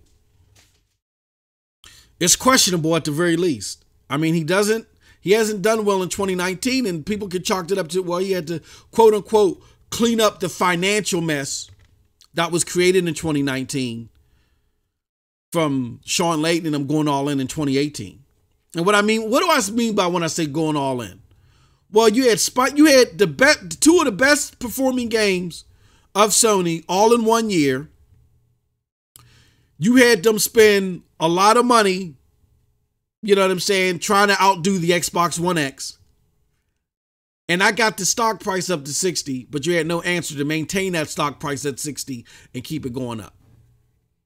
And even though Sony is in no way, shape, or form in threat of closing its doors tomorrow, no, don't don't even believe that stuff. You, you get people on the internet saying that silly, stupid shit, and no, PlayStation more than enough ensures that that's not going to happen. But things are not as stable as they would like it to be. Sony wants to be well-rounded and stable again, and having such a fantastic 2018 but going off such a cliff in 2019 doesn't doesn't do that for you as a company. So, my question in 2020 for Sony is we know the games are coming. Ghost of Tsushima, Last of Us 2. We know the games is coming. How are they going to be marketed? Will Jim be able to do a better job in 2020 than he did in 2019, being that those blockbuster games are coming out? I mean, 2020 inherently is just going to be better for Sony, period. They got a new console coming out. But can they really outdo Microsoft to the umph degree at a level Shawn Layden would have done? I don't know. And then even when you go past 2020,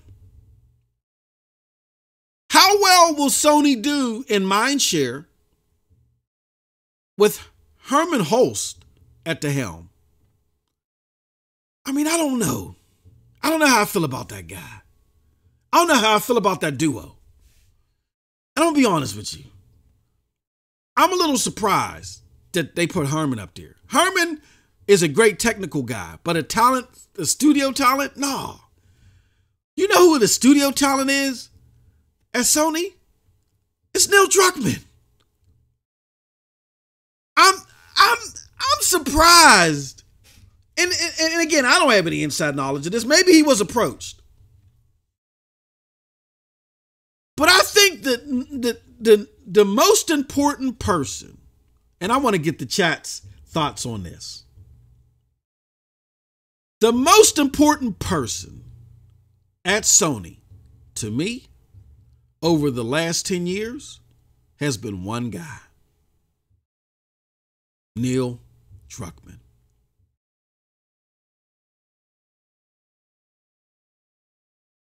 Neil um created Last of Us. You know, it was under his wing. He helped curate that. But before that, he did Uncharted, and Uncharted was was was the the pilot, so to speak, for um, Last of Us. And Last of Us is one of the most critically acclaimed games within the last decade. That's all you hear Last of Us, Last of Us, Last of Us. And that whole secret sauce of Sony, even though the game of the generation was God of War, who created that template? Who created it? Neil Druckmann. And who went to all the studios and helped them implement that template so they could see success? Bill Druckmann. Who took Guerrilla Games that couldn't create a hit? A hit. Not a good game, not a game with a cold fall, a hit to save their lives and helped them create one of the best selling IPs, the best selling new IP out of between Xbox and PlayStation. One of the most successful new IPs in, in recent memory, Horizon Zero Dawn. Who do you think helped create that template? Neil Druckmann. That's the Neil Druckmann template.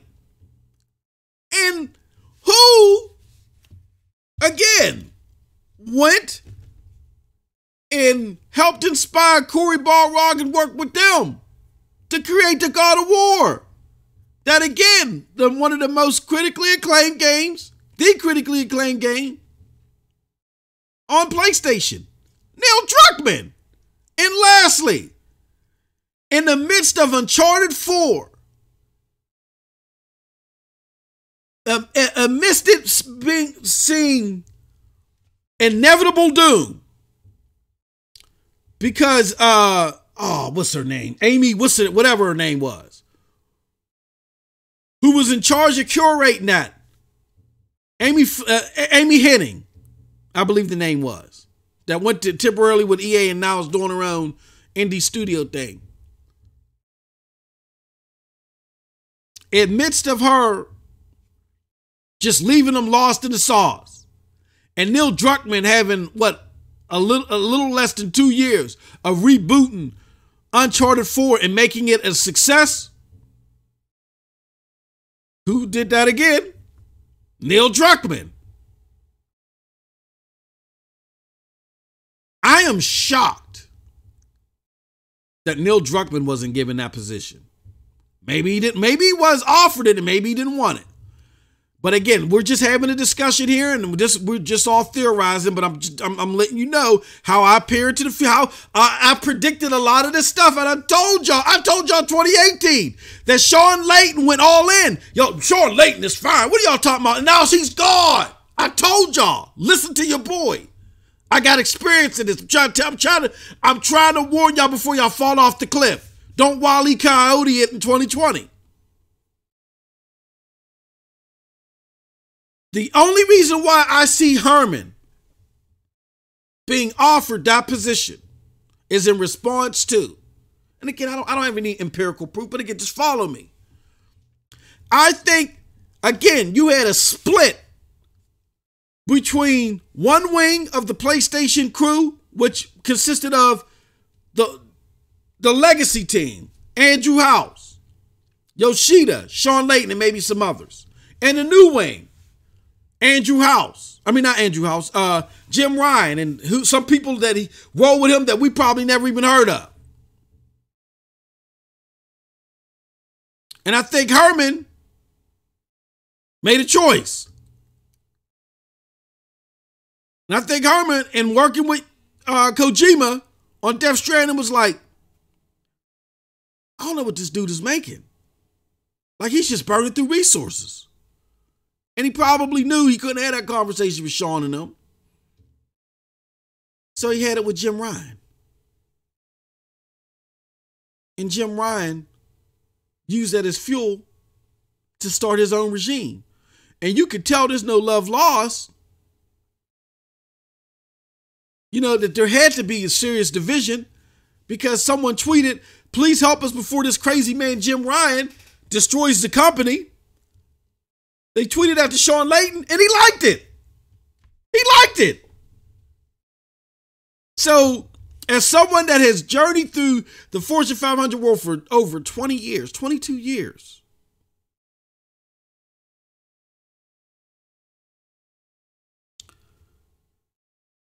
All these companies are carbon copies of each other. They just have different personnel now. They have different cultures as far as deal with the little things. But the, the big things at the top, they're all the same. And they're all chasing each other's gimmicks. And I'm letting you know right now, I believe in my heart of hearts. That's why Hermen Hulst got that job. That is, if it wasn't offered to Neil Druckmann. I think Hermen Hulst having an inside track on Death Stranding and, sh- and, and possibly showing some loyalty to Jim Ryan, that's how he got it. That's my belief. That is unless it was offered to Neil and he just turned it down. Because I don't, I don't, I don't see, I don't, I don't see studio head out of Hermen. It doesn't make any sense.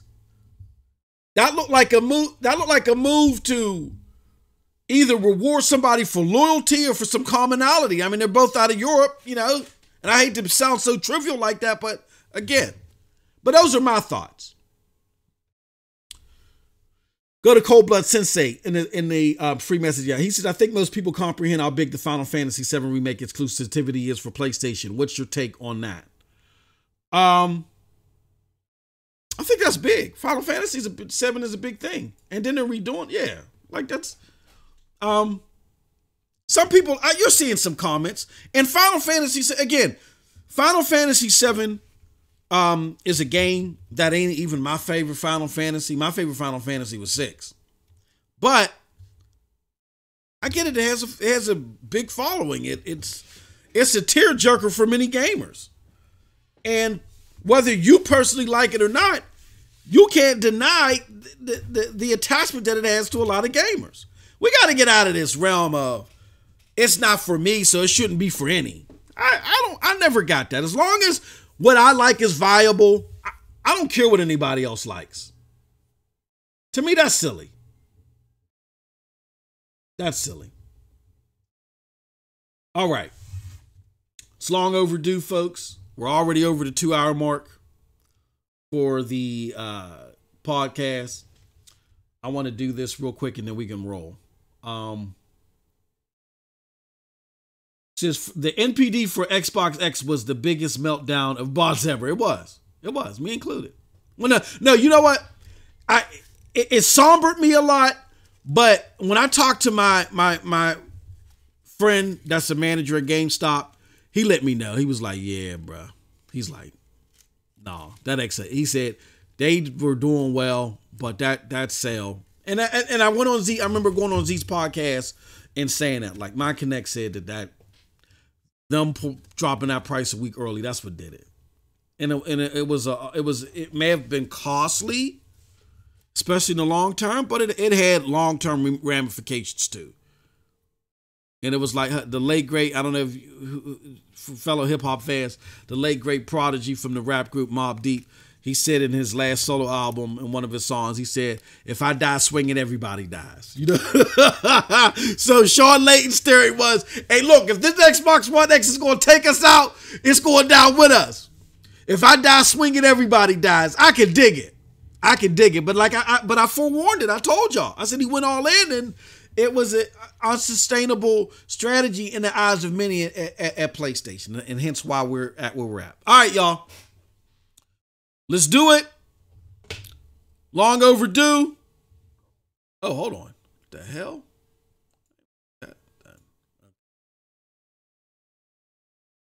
I don't want to share it. I want to present it.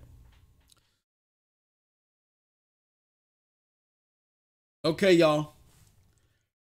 We're officially going to get into your boys for the NRO podcast. Games of 2020. All right. We here at the NRO podcast, NRO podcast, we like to highlight hardcore games. Okay. So these aren't games that are necessarily rich in story or charming, the cutesy gameplay and hee hee, you know, tickle you on the inside fancy. These are hardcore gritty games. That's what we focus on here. Hardcore gritty games. And these are the games, the top five games that we think in 2020 that exemplified hardcore gritty gameplay. All right. So, no further ado, let's get into it. Number five is Ghost Recon Breakpoint. Now, again, I get it. This game did not reach expectations as far as sales that Ubisoft had but I don't know what the hell they thought this was going to do. Even if y'all follow my content, I even doubted the purpose of this game. I said in the year that you had Division 2 coming out and the fact that it's it, it has a likelihood of struggling, which it did. I was right there. Um, because you know, just it's inherent with games as a service games. Like people will rip through the content no matter how much you put out there. Like, why would you put this out in the same year? And when you look, when you peer back a layer of the onion, it's because they did not have a game, a big ticket game coming out holiday 2019. And Ubisoft lives and dies off of having um, big games come out holiday 2019. They have to. Again, when Fortune 500 companies or you know what is Ubisoft privately traded? I don't know. But companies got to show financial success growth year over year, and not and, and and Ubisoft, a big portion of their success is dependent upon the holiday season. So when they don't have a presence, that's a, that creates a big hit for them. So even though they had high expectations for Ghost Recon Breakpoint, it didn't make it. it the game still did pretty well, as as I had highlighted, just in one day alone, just in one day and just one edition, which was the Ultimate Edition it outsold Gears 5. Now, y'all might be saying, oh, and it charted NPD just based off of one day. Just based off of one day. Now, y'all might be saying, oh, well, how? Gears 5 was uh was on Game Pass. Understand that again, Ghost Recon Breakpoint, the Ultimate Edition, was also on a subscription service which is based off of PC, which is Ubisoft's biggest market now. They didn't, they exposed that earlier in the year that that they're selling more games on PC. The PC gamers is what helped save the division. You know what I'm saying? From total disaster Division 2 this year. And and that ultimate edition again was available on Uplay Plus. It came with with the subscription. And and it was only charting for one day. It only chart off one day. So it, it pulled numbers. It's just that they had high expectations for it and didn't reach those expectations. All right. But despite all that, Ghost Recon Breakpoint has great tense moments. It has a great tactical gameplay. It has a very good loot system in which um the loot system keeps you grinding for more and more weapons to keep increasing what you got. You know what I'm saying? What they do is you have I want to say about maybe eight to 10 base types of guns. And what you do is you'll keep running into different variations, excuse me, of those base types of guns. Those, those, those, uh, gun types, I'll say. So you'll have eight to 10 different gun types. You'll come, you'll keep running across different variations. And what you do is as you upgrade certain components of that gun type, it, it it, it carries over into the different variations. So let's just say, uh, damn, an SMG. I come across an SMG. And I upgrade certain components within the SMG, the accuracy and stuff like that. I might get an, a, a different SMG that has different perks to it, but those same things that I've upgraded now feed over into my different SMG. So when you make upgrades, you're upgrading the gun type, which is great. So that's a good um, um, gameplay loop as far as upgrades are concerned. And the map is great too. Um, I, you've heard me say a thousand times over. I felt like Rambo playing this game. And I've never had a game that made me feel like, you know, hiding in the trenches, trying to systematically take out people. You know what I'm saying? Having a sense of urgency because if I get caught and they radio the wrong group, that wrong group is sending helicopters after me, the wolves, which is the elite um, enemies there, and they scramble your your HUD. You don't know where you're going. It's just it's just crazy. So that dynamic of it is good. What I've done for all the other ones, which I, I didn't include here um, mistakenly, is that for every single game, I tell where I think it should it could have done better. The biggest problem with Ghost Recon Breakpoint is the viability of the uh, of the of the building missions. Like basically missions, each mission relies upon you going to a building and systematically taking out people in the building and, and, and looting it. And that becomes tedious after some time. And it would have been nice to have like level based missions where you're going from point A to point B instead of it being in a circular place. They claim that they're going to fix that. And they also claim that they're going to fix the, the, the fact that they don't have a teammate AI. I don't think there needs to be teammate AI throughout the game because that'll turn this into Wildlands and you'll lose that tactical sense. I think what they need to do is just allow you to call in teammate AIs when you go raid these buildings because when you're doing these buildings, I mean, they're difficult, they're a challenge, and it becomes too tedious. You know what I'm saying? And it's just tedious, but you're doing the same thing over and over again. So that's that's where I I, I feel that the game uh, could do better. All right. So on to the next one. That was number five. Number four. Rage 2. Again, didn't get to is just desserts. I hated Rage 1. This is coming from someone that hated Rage 1. I had my doubts about Rage 2, but the gunplay in Rage 2 is just excellent for a shooter. And I get it. Shooters ain't cool anymore in 2019. It's all about the single player action game that lets you fight like God of War. And, and again, don't get me wrong, I love God of War, but You know, you just because you we get too heavy-handed. I get that shooters aren't the number one uh, uh, genre right now, but they ain't got to be at the bottom of the barrel. And I think because of that, Rage 2 doesn't get its just due. It has excellent gameplay. Engaging enemies in a challenge is crazy. It's it's a great shooter. Great visual style too. Even you know what I'm saying. A lot of people felt a lot of a lot of guys felt a lot of uh, uh, felt a certain way about a lot of pink that's in the game, but I think the way they implemented it is, is, is visually the visual style is cool, and the character building I, I like it a lot in the game. Now, I would have liked to see a more lively atmosphere. Traveling from area to area, there's just a few straggler enemies here and there. You can hop out your vehicle, engage them, you know what I'm saying, get some loot or whatever. But to have a little, a little bit lively, more uh, uh, area would have been better. And I thought they would have improved on that from one because one lacked the same thing. But again, a lot better game than one and a very good game. That's my number four, or that's our number four here at the. Uh, uh, NRO podcast. Number three is Metro Exodus. This also has excellent gunplay. Um, the weapon variety is fantastic. I love the makeshift weapons, the nail gun weapon. Just, That's one thing that Metro Exodus has always soared at is the weapon variety, and it's great and fantastic here. And I also love the great addition of the open environments. I'm gonna say this to y'all: if y'all have never played a Metro game, you can start off with Metro Exodus, but you're robbing yourself of a great experience by not playing the other two as well. I would get access to them if you have a PC. You can get them for cheap on PC. They're cheap everywhere. But this is just a great series. It really isn't getting its just due. This is a very talented. For some, I don't know why. Maybe it's the aesthetic of it that people just ain't gravitating to. But 4A is a very talented team. They made a very excellent game, and this game deserves to be a. it's a, it's a fantastic game. All right, and if it wasn't for two other stellar games, this very easily could have been my number one game of the year.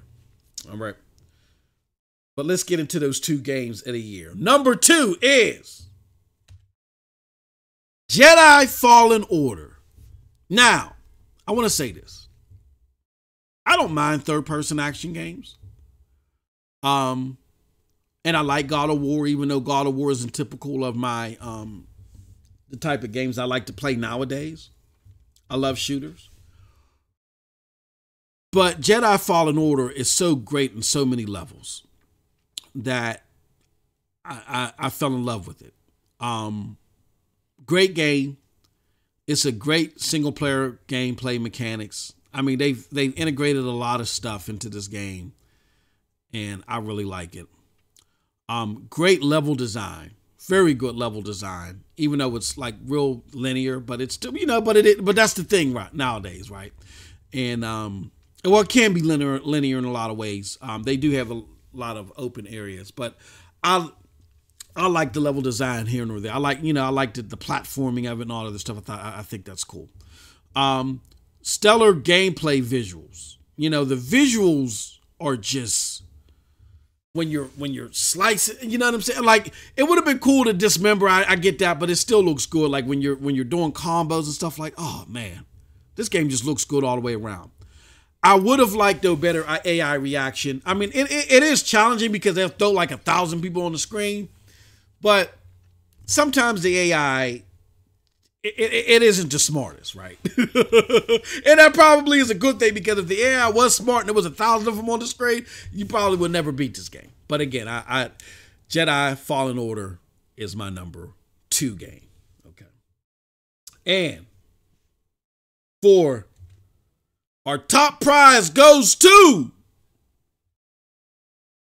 Borderlands 3. Hey, look, y'all. Look. Whoa, I can't. Hey, first and foremost, I gotta say this. I have to apologize. I'm I've been doing a lot of apologizing in 2019.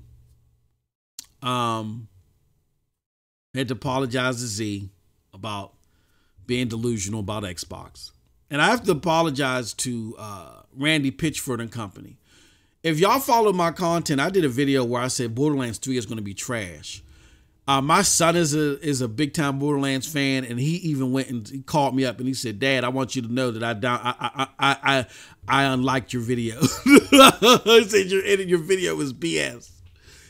Um, I because of what Gearbox was doing since Borderlands 2 in my mind, because I didn't like Borderlands 2, I had no hopes for this game. And I said, Randy Pitchford is mired in controversy. Gearbox can't create a good game to save their life. You had Battleborn. You just had the, their reboot of Bulletstorm. Just everything they put their hands on was just disastrous, right? And I said, it just spells doom for Borderlands 3. Like, this is a last ditch effort. They're trying to just get some money. They knew there was hype for Borderlands because people like 2 for whatever reason. I'm not going to like 3. And then I got 3 in my hands. And 3 is such a, it's fantastic. Like, the gunplay is great. You know, the the character building is very unique and i didn't know i mean i didn't i thought the, the the one thing that i liked about borderlands uh, across the board was the character building and i didn't think they could like tweak it any further to make it better but they did it's actually smarter and better um the level design is fantastic i love traversing the terrain it's great um the looting the the, the guns the guns this time around are nuts. The guns are crazy. I love them. And lastly, the replay factor. This, I mean, you could play this game forever and ever. I've started. I this is my third playthrough on state. Well, you know, I didn't. I, I, haven't finished because I start and then I redo, and I'm on Stadia now, and I'm loving it because I'm getting 60 frames per second. So big ups to um, Borderlands 3. You know what I'm saying? And that is it, ladies and gentlemen. Congratulations to Borderlands 3. Congratulations to all five of the games that made our list, but congratulations to Borderlands 3 for making the NRO podcast game of the year. All right. Final piece, folks, before we close our shop, because we're at the two and a half hour mark. Um, it is long overdue. I had a lot of shit on my chest. I just want to let everybody know that we we have a watch list here. It's called the NRO, um, the New Rugged Order Anti-Hardcore Gaming Watch List, and then we give out like Mr. Yuck badges to those that we officially are like anti-hardcore gaming. Um, this company is on our watch list, and they're going to remain for 2020. And of course, that company is Xbox. Um, I get it. People may hear that and they may say, Oh, but Xbox is coming out with a powerful console. They showed Hellblade. Hellblade is not a game in my hands yet. All we saw was a cutscene. We didn't see any gameplay. The Xbox One X was super powerful and it launched with Super Lucky's Tales. I have yet to see what Halo Infinite is going to look like. That we don't know what's coming out of this camp, so we still need to be leery of them. I mean, Xbox uh, right now, and they, and they put themselves in this box. Xbox cannot be judged by any of the promises that they give. They should only be judged by what they put in your hands. If they can't put anything tangible in your hands, you can only go by their prior actions. So right now they're on a or, or on our hardcore watch list. But that being said, uh, what do they need to do to get off? They need to keep showing concepts early like Hellblade. They do need to keep doing that, but they got to do it consistently. They got to speak more about AAA content and talk spe- about specific content. And they got to stop selling promises and make sure that games happen. And lastly, they got to be consistent in all that. If they do that, they can get off the watch list. So we, it, will be, it, it remains to be seen. Well, let's see what they do in 2020. I'm not giving them the benefit of the doubt until I see stuff. 15 new studios, 17 new studios mean nothing. They told us that they were having what 17 exclusive games, and look what happened. Like man said, I don't give a damn. you know what I'm saying? So they already proved to us that they throw out big numbers and, and it can mean nothing. All right. With that being said, before we close out, uh, my homie Cold Blood Sensei gives us his top. He says Sekiro, Devil May Cry, Death Stranding, Days Gone, Resident Evil, and FU Remedy for effing up Control. Ever played Control? I hear like mixed things about that game, but we'll definitely see that. We'll, we'll, we'll check that out. All right. We went over a lot, and that was my fault, and I'm sorry, guys. But y'all, autumn next, we'll be here next week. And um, next week we'll definitely, because of the strength of my homie Cold Blood Sensei, and then what uh, Heath Stevens did, we will the phone lines will be open next week. So with that being said, I want to thank everybody for coming through. I want to thank Cold Blood Sensei. I want to thank Heath Stevens. I want to thank who else we got here. We got um We got Beyond Sinks. Thank you for coming through. We had Holsey 22. Thank you for coming through. And I appreciate Cold Blood Sensei for, for the sub to the channel. And with that said, I've gone way over.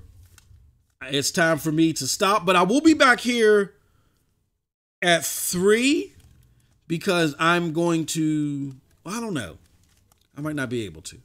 Um, I, am planning on streaming some, some, uh, I want to do some more Borderlands. I may not be able to, but let's see. And with that said, you all have a wonderful, wonderful gaming day, and thank you for enjoying this very long, very this was only supposed to be an hour, very long edition of the NRO podcast. We're crispy and clean for 2020, baby. Peace.